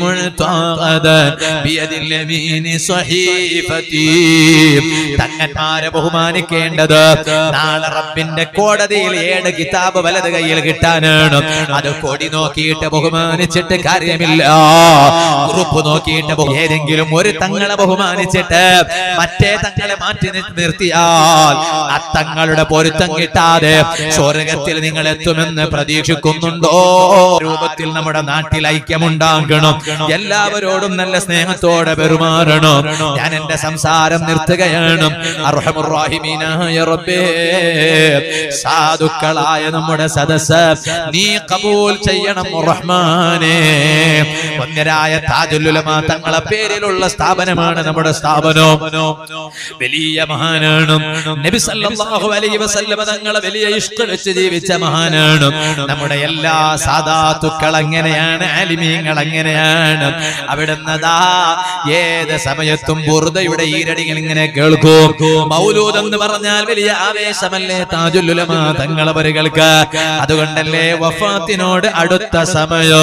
അവിടുത്തെ മകൻ ഹാമിദ് ഇമ്പിച്ചുക്കോയ തങ്ങളുടെ മകൻ താജുലുലമയുടെ കൂട്ടി തൊട്ടടുത്തിരുന്നിട്ട് ഇങ്ങനെ ബുറുദ വരെ ഇങ്ങനെ പാടുമ്പോ ആ തങ്ങളെ കുട്ടി ഒരു മൊയിലാരല്ലാത്തത് കൊണ്ട് ചിലപ്പോ എവിടുന്ന ഒരു ചെറിയ ഒരു പെശക് വന്നപ്പോ അതാ താജുലുലമ തങ്ങൾ കൈകൊണ്ട് നിലത്തങ്ങടിച്ചിട്ട് പറഞ്ഞു മോനെ. എവിടെയോ ഒരു ചെറിയ പെശകുണ്ട് മോനെ. എവിടെ പോയാലും എവിടെ വിദേശ നേട്ടത്തിൽ പോയാലും എവിടെ പോയാലും മംഗലാപുരത്ത് വന്നാലും അപ്പുറത്ത് തെക്കൻ കേരളത്തിൽ തിരുവനന്തപുരത്ത് പോയാലും അതാ സ്വഹീബുൽ ബുഖാരിയുടെ ക്ലാസ്സിനെത്തുകയാണ്. വളരെ അപൂർവം ചില സമയത്താണ് ഉസ്താദിനെ പകരം വേറെ ഉസ്താദുമാര് നമുക്ക് ബുഖാരി ഓതി തന്നത് മർക്കസിലുള്ള സമയത്ത് ഇപ്പോഴും ഉസ്താദിന്റെ സ്വഹീബുൽ ബുഖാരി ക്ലാസ് ഇല്ലാതെയാകുന്നത് വളരെ അപൂർവമാണ്. കാരണം ഹബീബായ തങ്ങളുടെ ഹദീസ് തന്റെ പ്രിയങ്കരായ മുത്തല്ലിമീങ്ങളായ ശിഷ്യഗണങ്ങൾക്ക് ഓരിക്കൊടുക്കുന്നതിൽ ആവേശമാണ്. ആ ഹാളിൽ ഒരു ദിവസം എത്ര സ്വലാത്താ വരുന്നത്? സുഹൃത്തുക്കളെ ഉസ്താദിന്റെ ഉയർച്ചയുടെ പിന്നിലെ രഹസ്യം ലോക നേതാവായ മുഹമ്മദ് തങ്ങളാണ്. അതുകൊണ്ട് മനസ്സ് മദീനയിലേക്ക് തിരിക്കണോ. ഹബീബിലേക്ക് തിരിക്കണോ. ഞാൻ എന്റെ സംസാരം നിർത്തട്ടെ. എന്റെ മോമിനിയങ്ങൾ ഇരുന്ന സ്ഥലത്ത് നിന്ന് ഒന്നെണീറ്റ് നിൽക്കുമോ? മനസ്സൊന്ന് മദീനയിലേക്ക് തിരിക്കൂ. ആ മദീനയിൽ പോകണം. നിരവധി തവണങ്ങളിൽ നമുക്ക് അവസരമുണ്ടാകണം. അർഹമുറാഹിമീനായ റബ്ബേ. സാധുക്കളായ നമുക്കതിന് ഭാഗ്യം നൽകണേ അല്ലാ. സിദ്ദീഖുൽ അക്ബർ റളിയല്ലാഹു അൻഹു നബി സല്ലല്ലാഹു അലൈഹി വസല്ലമ തങ്ങളെ സ്നേഹിച്ചു പോയി ഹജ്ജത്തുൽ വിദാഇൽ اليوم أكملت لكم دينكم وأتممت عليكم نعمتي ورضيت لكم الإسلام دينا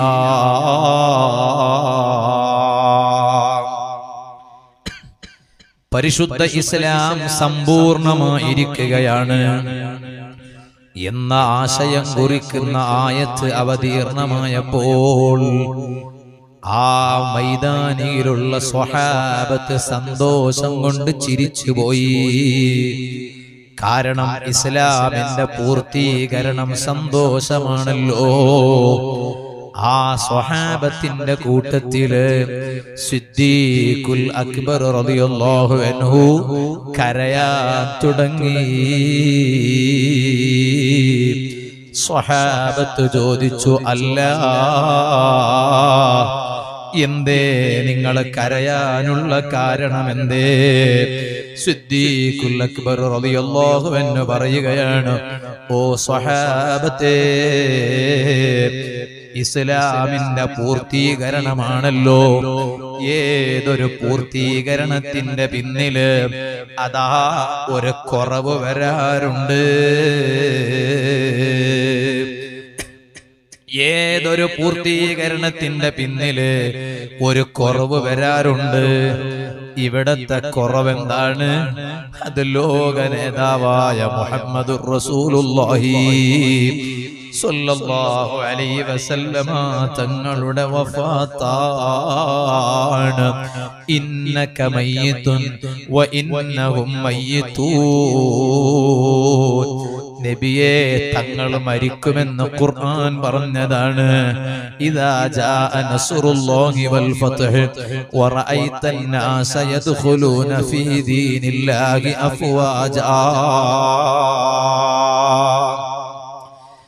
فسبح بحمد ربك واستغفره إنه كان توابا അതെല്ലാം നബി സല്ലല്ലാഹു അലൈഹി വസല്ലമ തങ്ങളുടെ വഫാത്ത് അടുത്തിരിക്കുന്നു എന്നതിലേക്കുള്ള സൂചനയാണ് സിദ്ദീഖുൽ അക്ബർ റളിയല്ലാഹു അൻഹു സ്വഹാബത്തിനോട് പറഞ്ഞു സ്വഹാബത്തെ ഞാൻ കരയാൻ കാരണം തങ്ങളുടെ വഫാത്ത് ഓർത്തിട്ടാണ്. മുത്തുനബി തങ്ങളെ അവരെ വല്ലാതെ സ്നേഹിച്ചു പോയി. തങ്ങളുടെ വേർപാട് അവർക്ക് താങ്ങാൻ കഴിഞ്ഞില്ല. സഹിക്കാൻ കഴിഞ്ഞില്ല. പറയാൻ ഒരുപാടുണ്ട്. തങ്ങളെ വഫാത്തിനെ കുറിച്ച് മാത്രം പറയേണ്ടതുണ്ട്.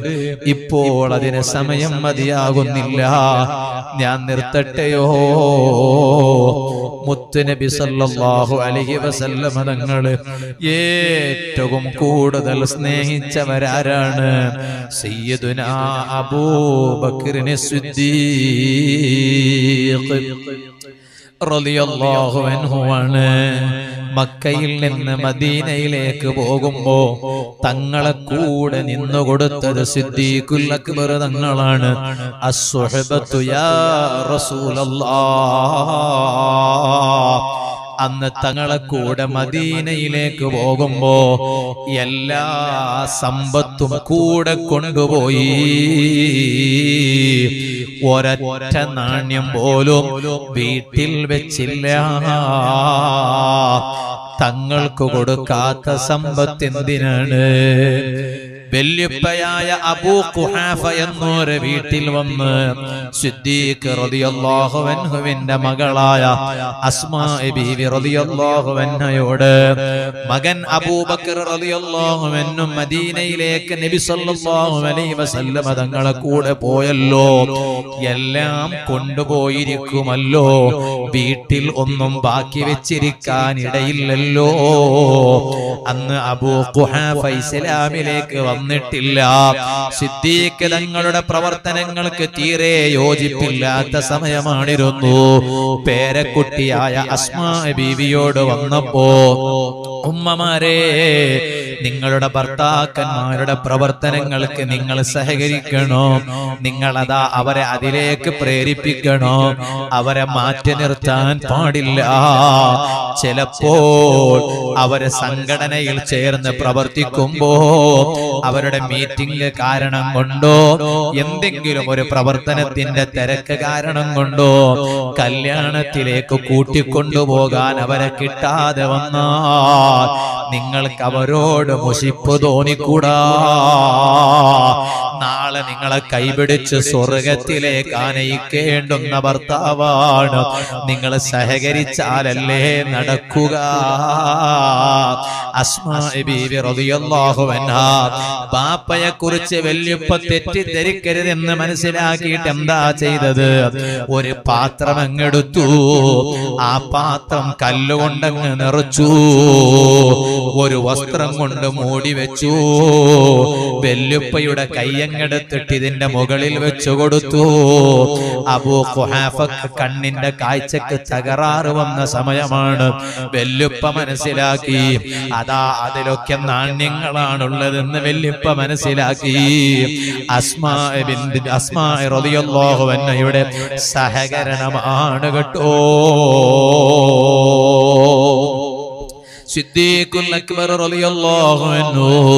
മഹാനവരുകൾ വിധങ്ങളെ സ്നേഹിച്ചില്ലേ?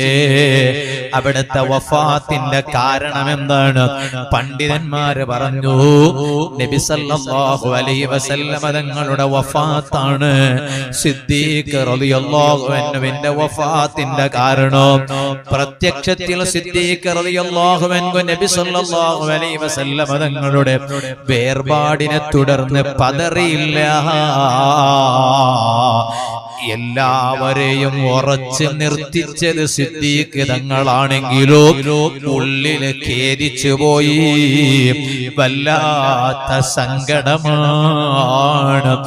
അതുകൊണ്ടല്ലേ ഇമാം പറഞ്ഞത് കാണാം. സിദ്ദീഖ് തങ്ങളെ ഹയാത്ത് കാലത്ത് തങ്ങളെ അടുത്തുപോയി നിൽക്കുമ്പോ ഉള്ളിലൂടെ ഒരു വേവിച്ച മാംസത്തിന്റെ വാസന പുറത്ത് വരാറുണ്ടായിരുന്നു. തീ കൊണ്ട് വേവിച്ച ഒരു മാംസമില്ലേ? ആ ചുട്ട മാംസത്തിന്റെ സ്മെല്ല് പുറത്തേക്ക് വരാറുണ്ടായിരുന്നു. കാരണം എന്താണ് തങ്ങളെ വേർപാട് ഓർത്ത് ഉള്ളിൽ ഇങ്ങനെ ദഹിച്ചു പോയി ജീർണിച്ചു പോയി. പക്ഷേ പതറാതിരിക്കാനുള്ള കാരണം എന്താണ് തളരാതിരിക്കാനുള്ള കാരണം എന്താണ് ലോക നേതാവ് അവിടുത്തെ ശേഷം പിങ്കാമികൾക്ക് നേതാവായി കാണിച്ചു കൊടുത്തവരാണ്. നേതാവ് പതറിപ്പോയാൽ അണികളെ കാര്യം എന്താണ് അതുകൊണ്ട് പതറിയില്ല.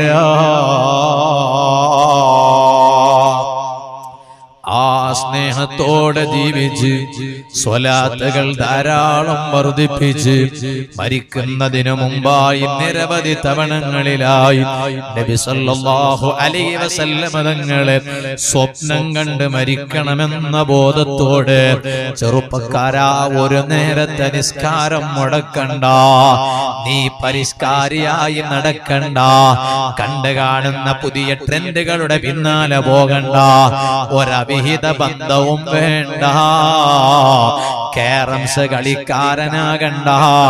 ഏത് കളിയായാലും നിസ്കാരം മുടക്കിയിട്ടൊരൊറ്റ കളിയും വേണ്ട. കുടുംബ ബന്ധം മുറിക്കണ്ട അവ്വൽ മാസമല്ലേ ഒരു തീരുമാനമെടുത്തോ. ആരുമായിട്ടാണ് ഞാനത് ആ ബന്ധം മുറിച്ചിട്ടുള്ളത്? അവനോട് ഞാൻ അങ്ങോട്ട് പോയി സലാം പറഞ്ഞ് ബന്ധം സ്ഥാപിക്കൂ.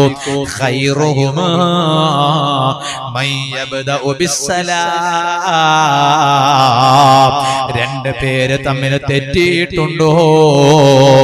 അവരിൽ ഏറ്റവും ഖൈറായവൻ ആരാണ് സലാം പറഞ്ഞിട്ട് ആദ്യം നന്നായവൻ ആരാണോ അവനാണ് ഏറ്റവും ഹൈറായവൻ കേട്ടോ. അങ്ങനെ നന്നാകണോ? അയൽവാസികളോട് നല്ല സ്നേഹത്തോടെ പെരുമാറണോ? നാട്ടുകാരോട് നല്ല യോജിപ്പിൽ പെരുമാറണോ? ചെറുപ്പക്കാരാ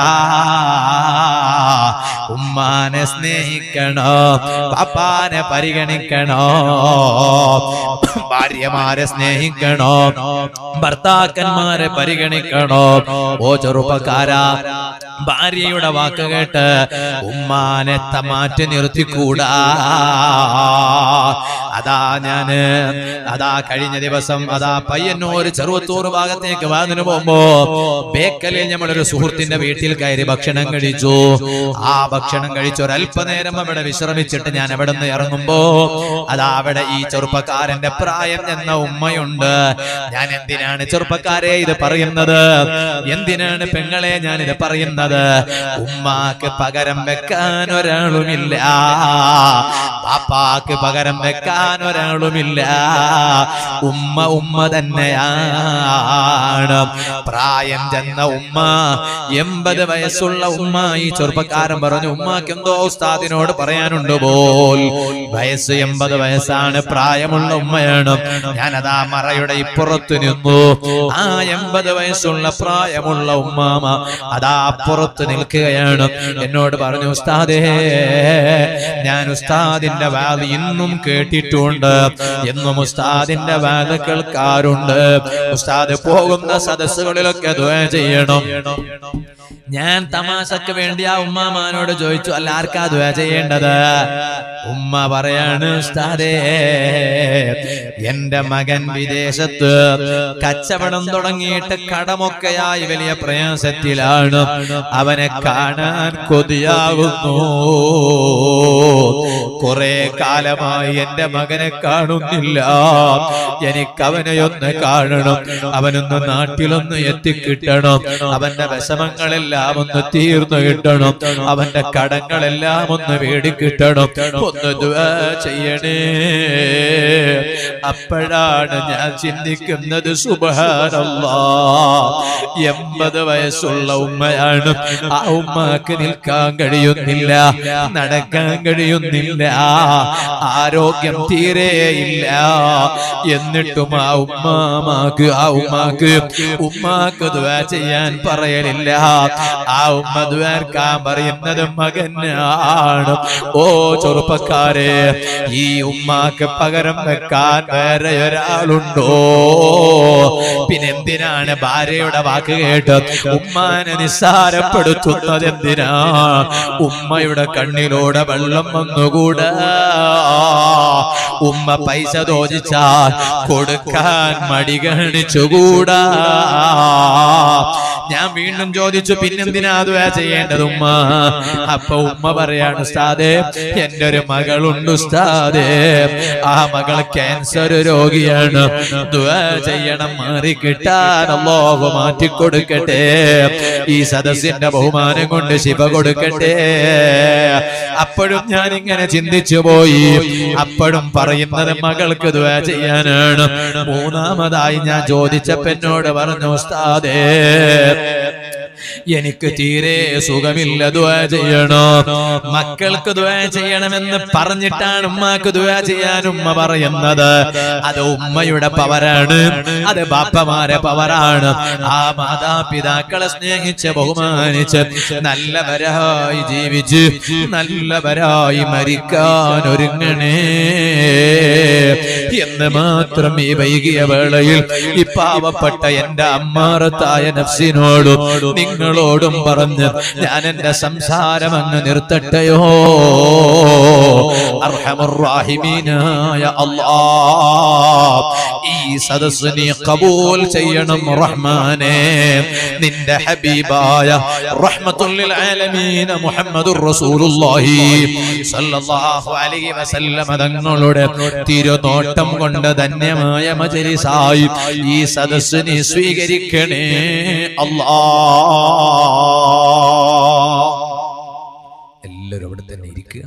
നമുക്ക് ഇൻഷാല്ല ഒരു മൂന്ന് സ്വലാത്ത് ചൊല്ലി. ഒരു ചെറിയ ദുആ നടത്തി പിരിയണം. ഈ പരിപാടിക്ക് വേണ്ടി അധ്വാനിച്ചവർ സഹായിച്ചവർ സഹകരിച്ചവർ ഒക്കെ ഉണ്ട്. നബി സല്ലല്ലാഹു അലൈഹി വസല്ലമ തങ്ങളുടെ പേരിൽ ധാരാളം സ്വലാത്തുകൾ വർദ്ധിപ്പിച്ച് ഇഷ്കോടെ മഹബത്തോടെ ജീവിച്ച് ഒരുപാട് തവണങ്ങളിൽ സ്വപ്നം കാണാൻ നീ ഭാഗ്യം നൽകണേ അല്ലാ. ഹജ്ജ് ചെയ്യാതെ നീ ഞങ്ങളെ നിന്നിലേക്ക് വിളിക്കല്ലേ അല്ലാ. ഉംറ ചെയ്യാതെ നീ മരിപ്പിക്കല്ലേ അല്ലാ. കഅബ കാണാതെ ഹജറുൽ അസ്വദ് ചുംബിക്കാതെ നീ ഞങ്ങളെ മരിപ്പിക്കല്ലേ അല്ലാ? മദീനയിൽ നിരവധി തവണങ്ങളിലായി പോയി സ്വലാത്തും സലാമും ചെല്ലാം ഭാഗ്യം നൽകണേ അല്ലാ.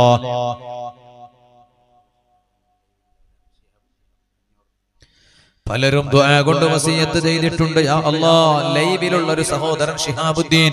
ഉമ്മാന്റെ രോഗം മാറി കിട്ടാൻ ഒരു അഞ്ഞൂറ് രൂപ നമ്മുടെ സംരംഭത്തിന് ഏറ്റിട്ടുണ്ട്. നീ ഷിഫ നൽകണേ അല്ലാ പടച്ചറപ്പേ ഞങ്ങൾക്ക് ഞങ്ങൾക്ക് ഞങ്ങളെ ഉമ്മ ബാപ്പമാർ ഈ ഉള്ളവന്റെ പ്രിയപ്പെട്ട മാതാവും.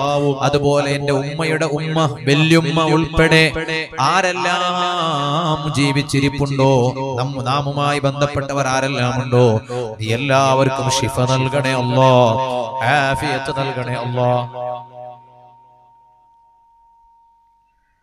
ഹൈറായ ഹൈറായ വഴികൾ തുറന്നു കിട്ടാൻ വേണ്ടി പ്രത്യേകം ദുആ ചെയ്യാൻ വേണ്ടി പറഞ്ഞിട്ടുണ്ട്. മലപ്പുറത്ത് നിന്ന് ഇങ്ങോട്ട് കിട്ടണമെന്ന് കരുതിയിട്ട് യാ അല്ലാ ഹൈറായ വഴികളെ നീ തുറന്നു കൊടുക്കണേ റഹ്മാനെ. സന്തോഷം നൽകണേ റഹ്മാനെ. ഈ സദസ്സിലുള്ള മോമിനീങ്ങളും സ്റ്റേജിലുള്ളവരും ആമീൻ പറയുമ്പോൾ എന്ത് ഉദ്ദേശം കരുതിയിട്ടാണോ ആമീൻ പറയുന്നത് നീ അവർക്കത് റാഹത്താക്കി കൊടുക്കണേ അല്ലാ ഈ പരിപാടി നടത്താൻ ഇവിടെ സൗകര്യം ചെയ്തു തന്നവർ അതുപോലെ സഹകരിച്ചവർ സഹായിച്ചവർ മേക്ക് ഓപ്പറേറ്റ് ചെയ്തവർ ലൈവ് കാണിച്ചവർ കൊടുത്തവർ കണ്ടുകൊണ്ടിരിക്കുന്ന പ്രവാസികൾ. എല്ലാവർക്കും നീ ഇസ്സത്ത് നൽകണേ അല്ലാ. ഞങ്ങൾ ആരെയും നീ വഷളാക്കല്ലേ അല്ലാ. ദുനിയാവിലും ആഹ്റത്തിലും ഞങ്ങളെ ഇസ്സത്ത് കുറഞ്ഞവരാക്കല്ലേ അല്ലാ. ഞങ്ങൾ നിന്റെ പള്ളിക്ക് വേണ്ടിയും ദർസുകൾക്ക് വേണ്ടിയും കൈനീട്ടി ചോദിക്കുന്നവരാണ് അല്ലാ. അത് ഞങ്ങളെ സ്വന്തത്തിന് വേണ്ടിയല്ല.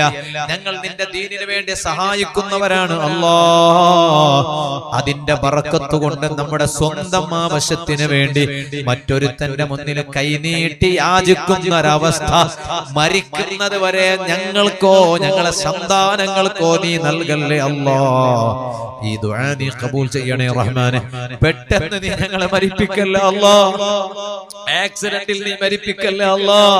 മയ്യത്ത് പരിചയമില്ലാത്ത രൂപത്തിൽ മരിക്കുന്ന ഒരവസ്ഥ വരുത്തല്ലേ അല്ലാ? പടച്ചറബേ നിന്റെ പൊരുത്തത്തിലായി നല്ല ആരോഗ്യമുള്ള ദീർഘായുസ് നൽകണേ റഹ്മാനെ. അവസാനം മരണം ഹൈറായ സമയത്ത് എല്ലാ ഹക്കടപാടുകൾ വീട്ടിയിട്ട് പൊരുത്തപ്പെടിപ്പിക്കേണ്ടുന്നവരോട് പൊരുത്തപ്പെടിപ്പിച്ച് പടച്ചറബേ ചെയ്യേണ്ടുന്ന വസീയത്തുകളെല്ലാം ചെയ്ത് കണക്കുകളും കാര്യങ്ങളെല്ലാം ക്ലിയർ ചെയ്ത് മരിക്കുന്ന സമയത്ത് സ്വർഗം കാണിച്ചു തരണേ അല്ലാ. നെറ്റിത്തടം വിയർത്ത് മരിക്കാൻ ഭാഗ്യം നൽകണേ അല്ലാ.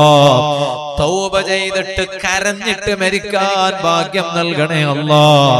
നല്ല സ്ഥലത്തുള്ള സമയത്ത് നീ മരിപ്പിക്കല്ലേ അല്ലാ.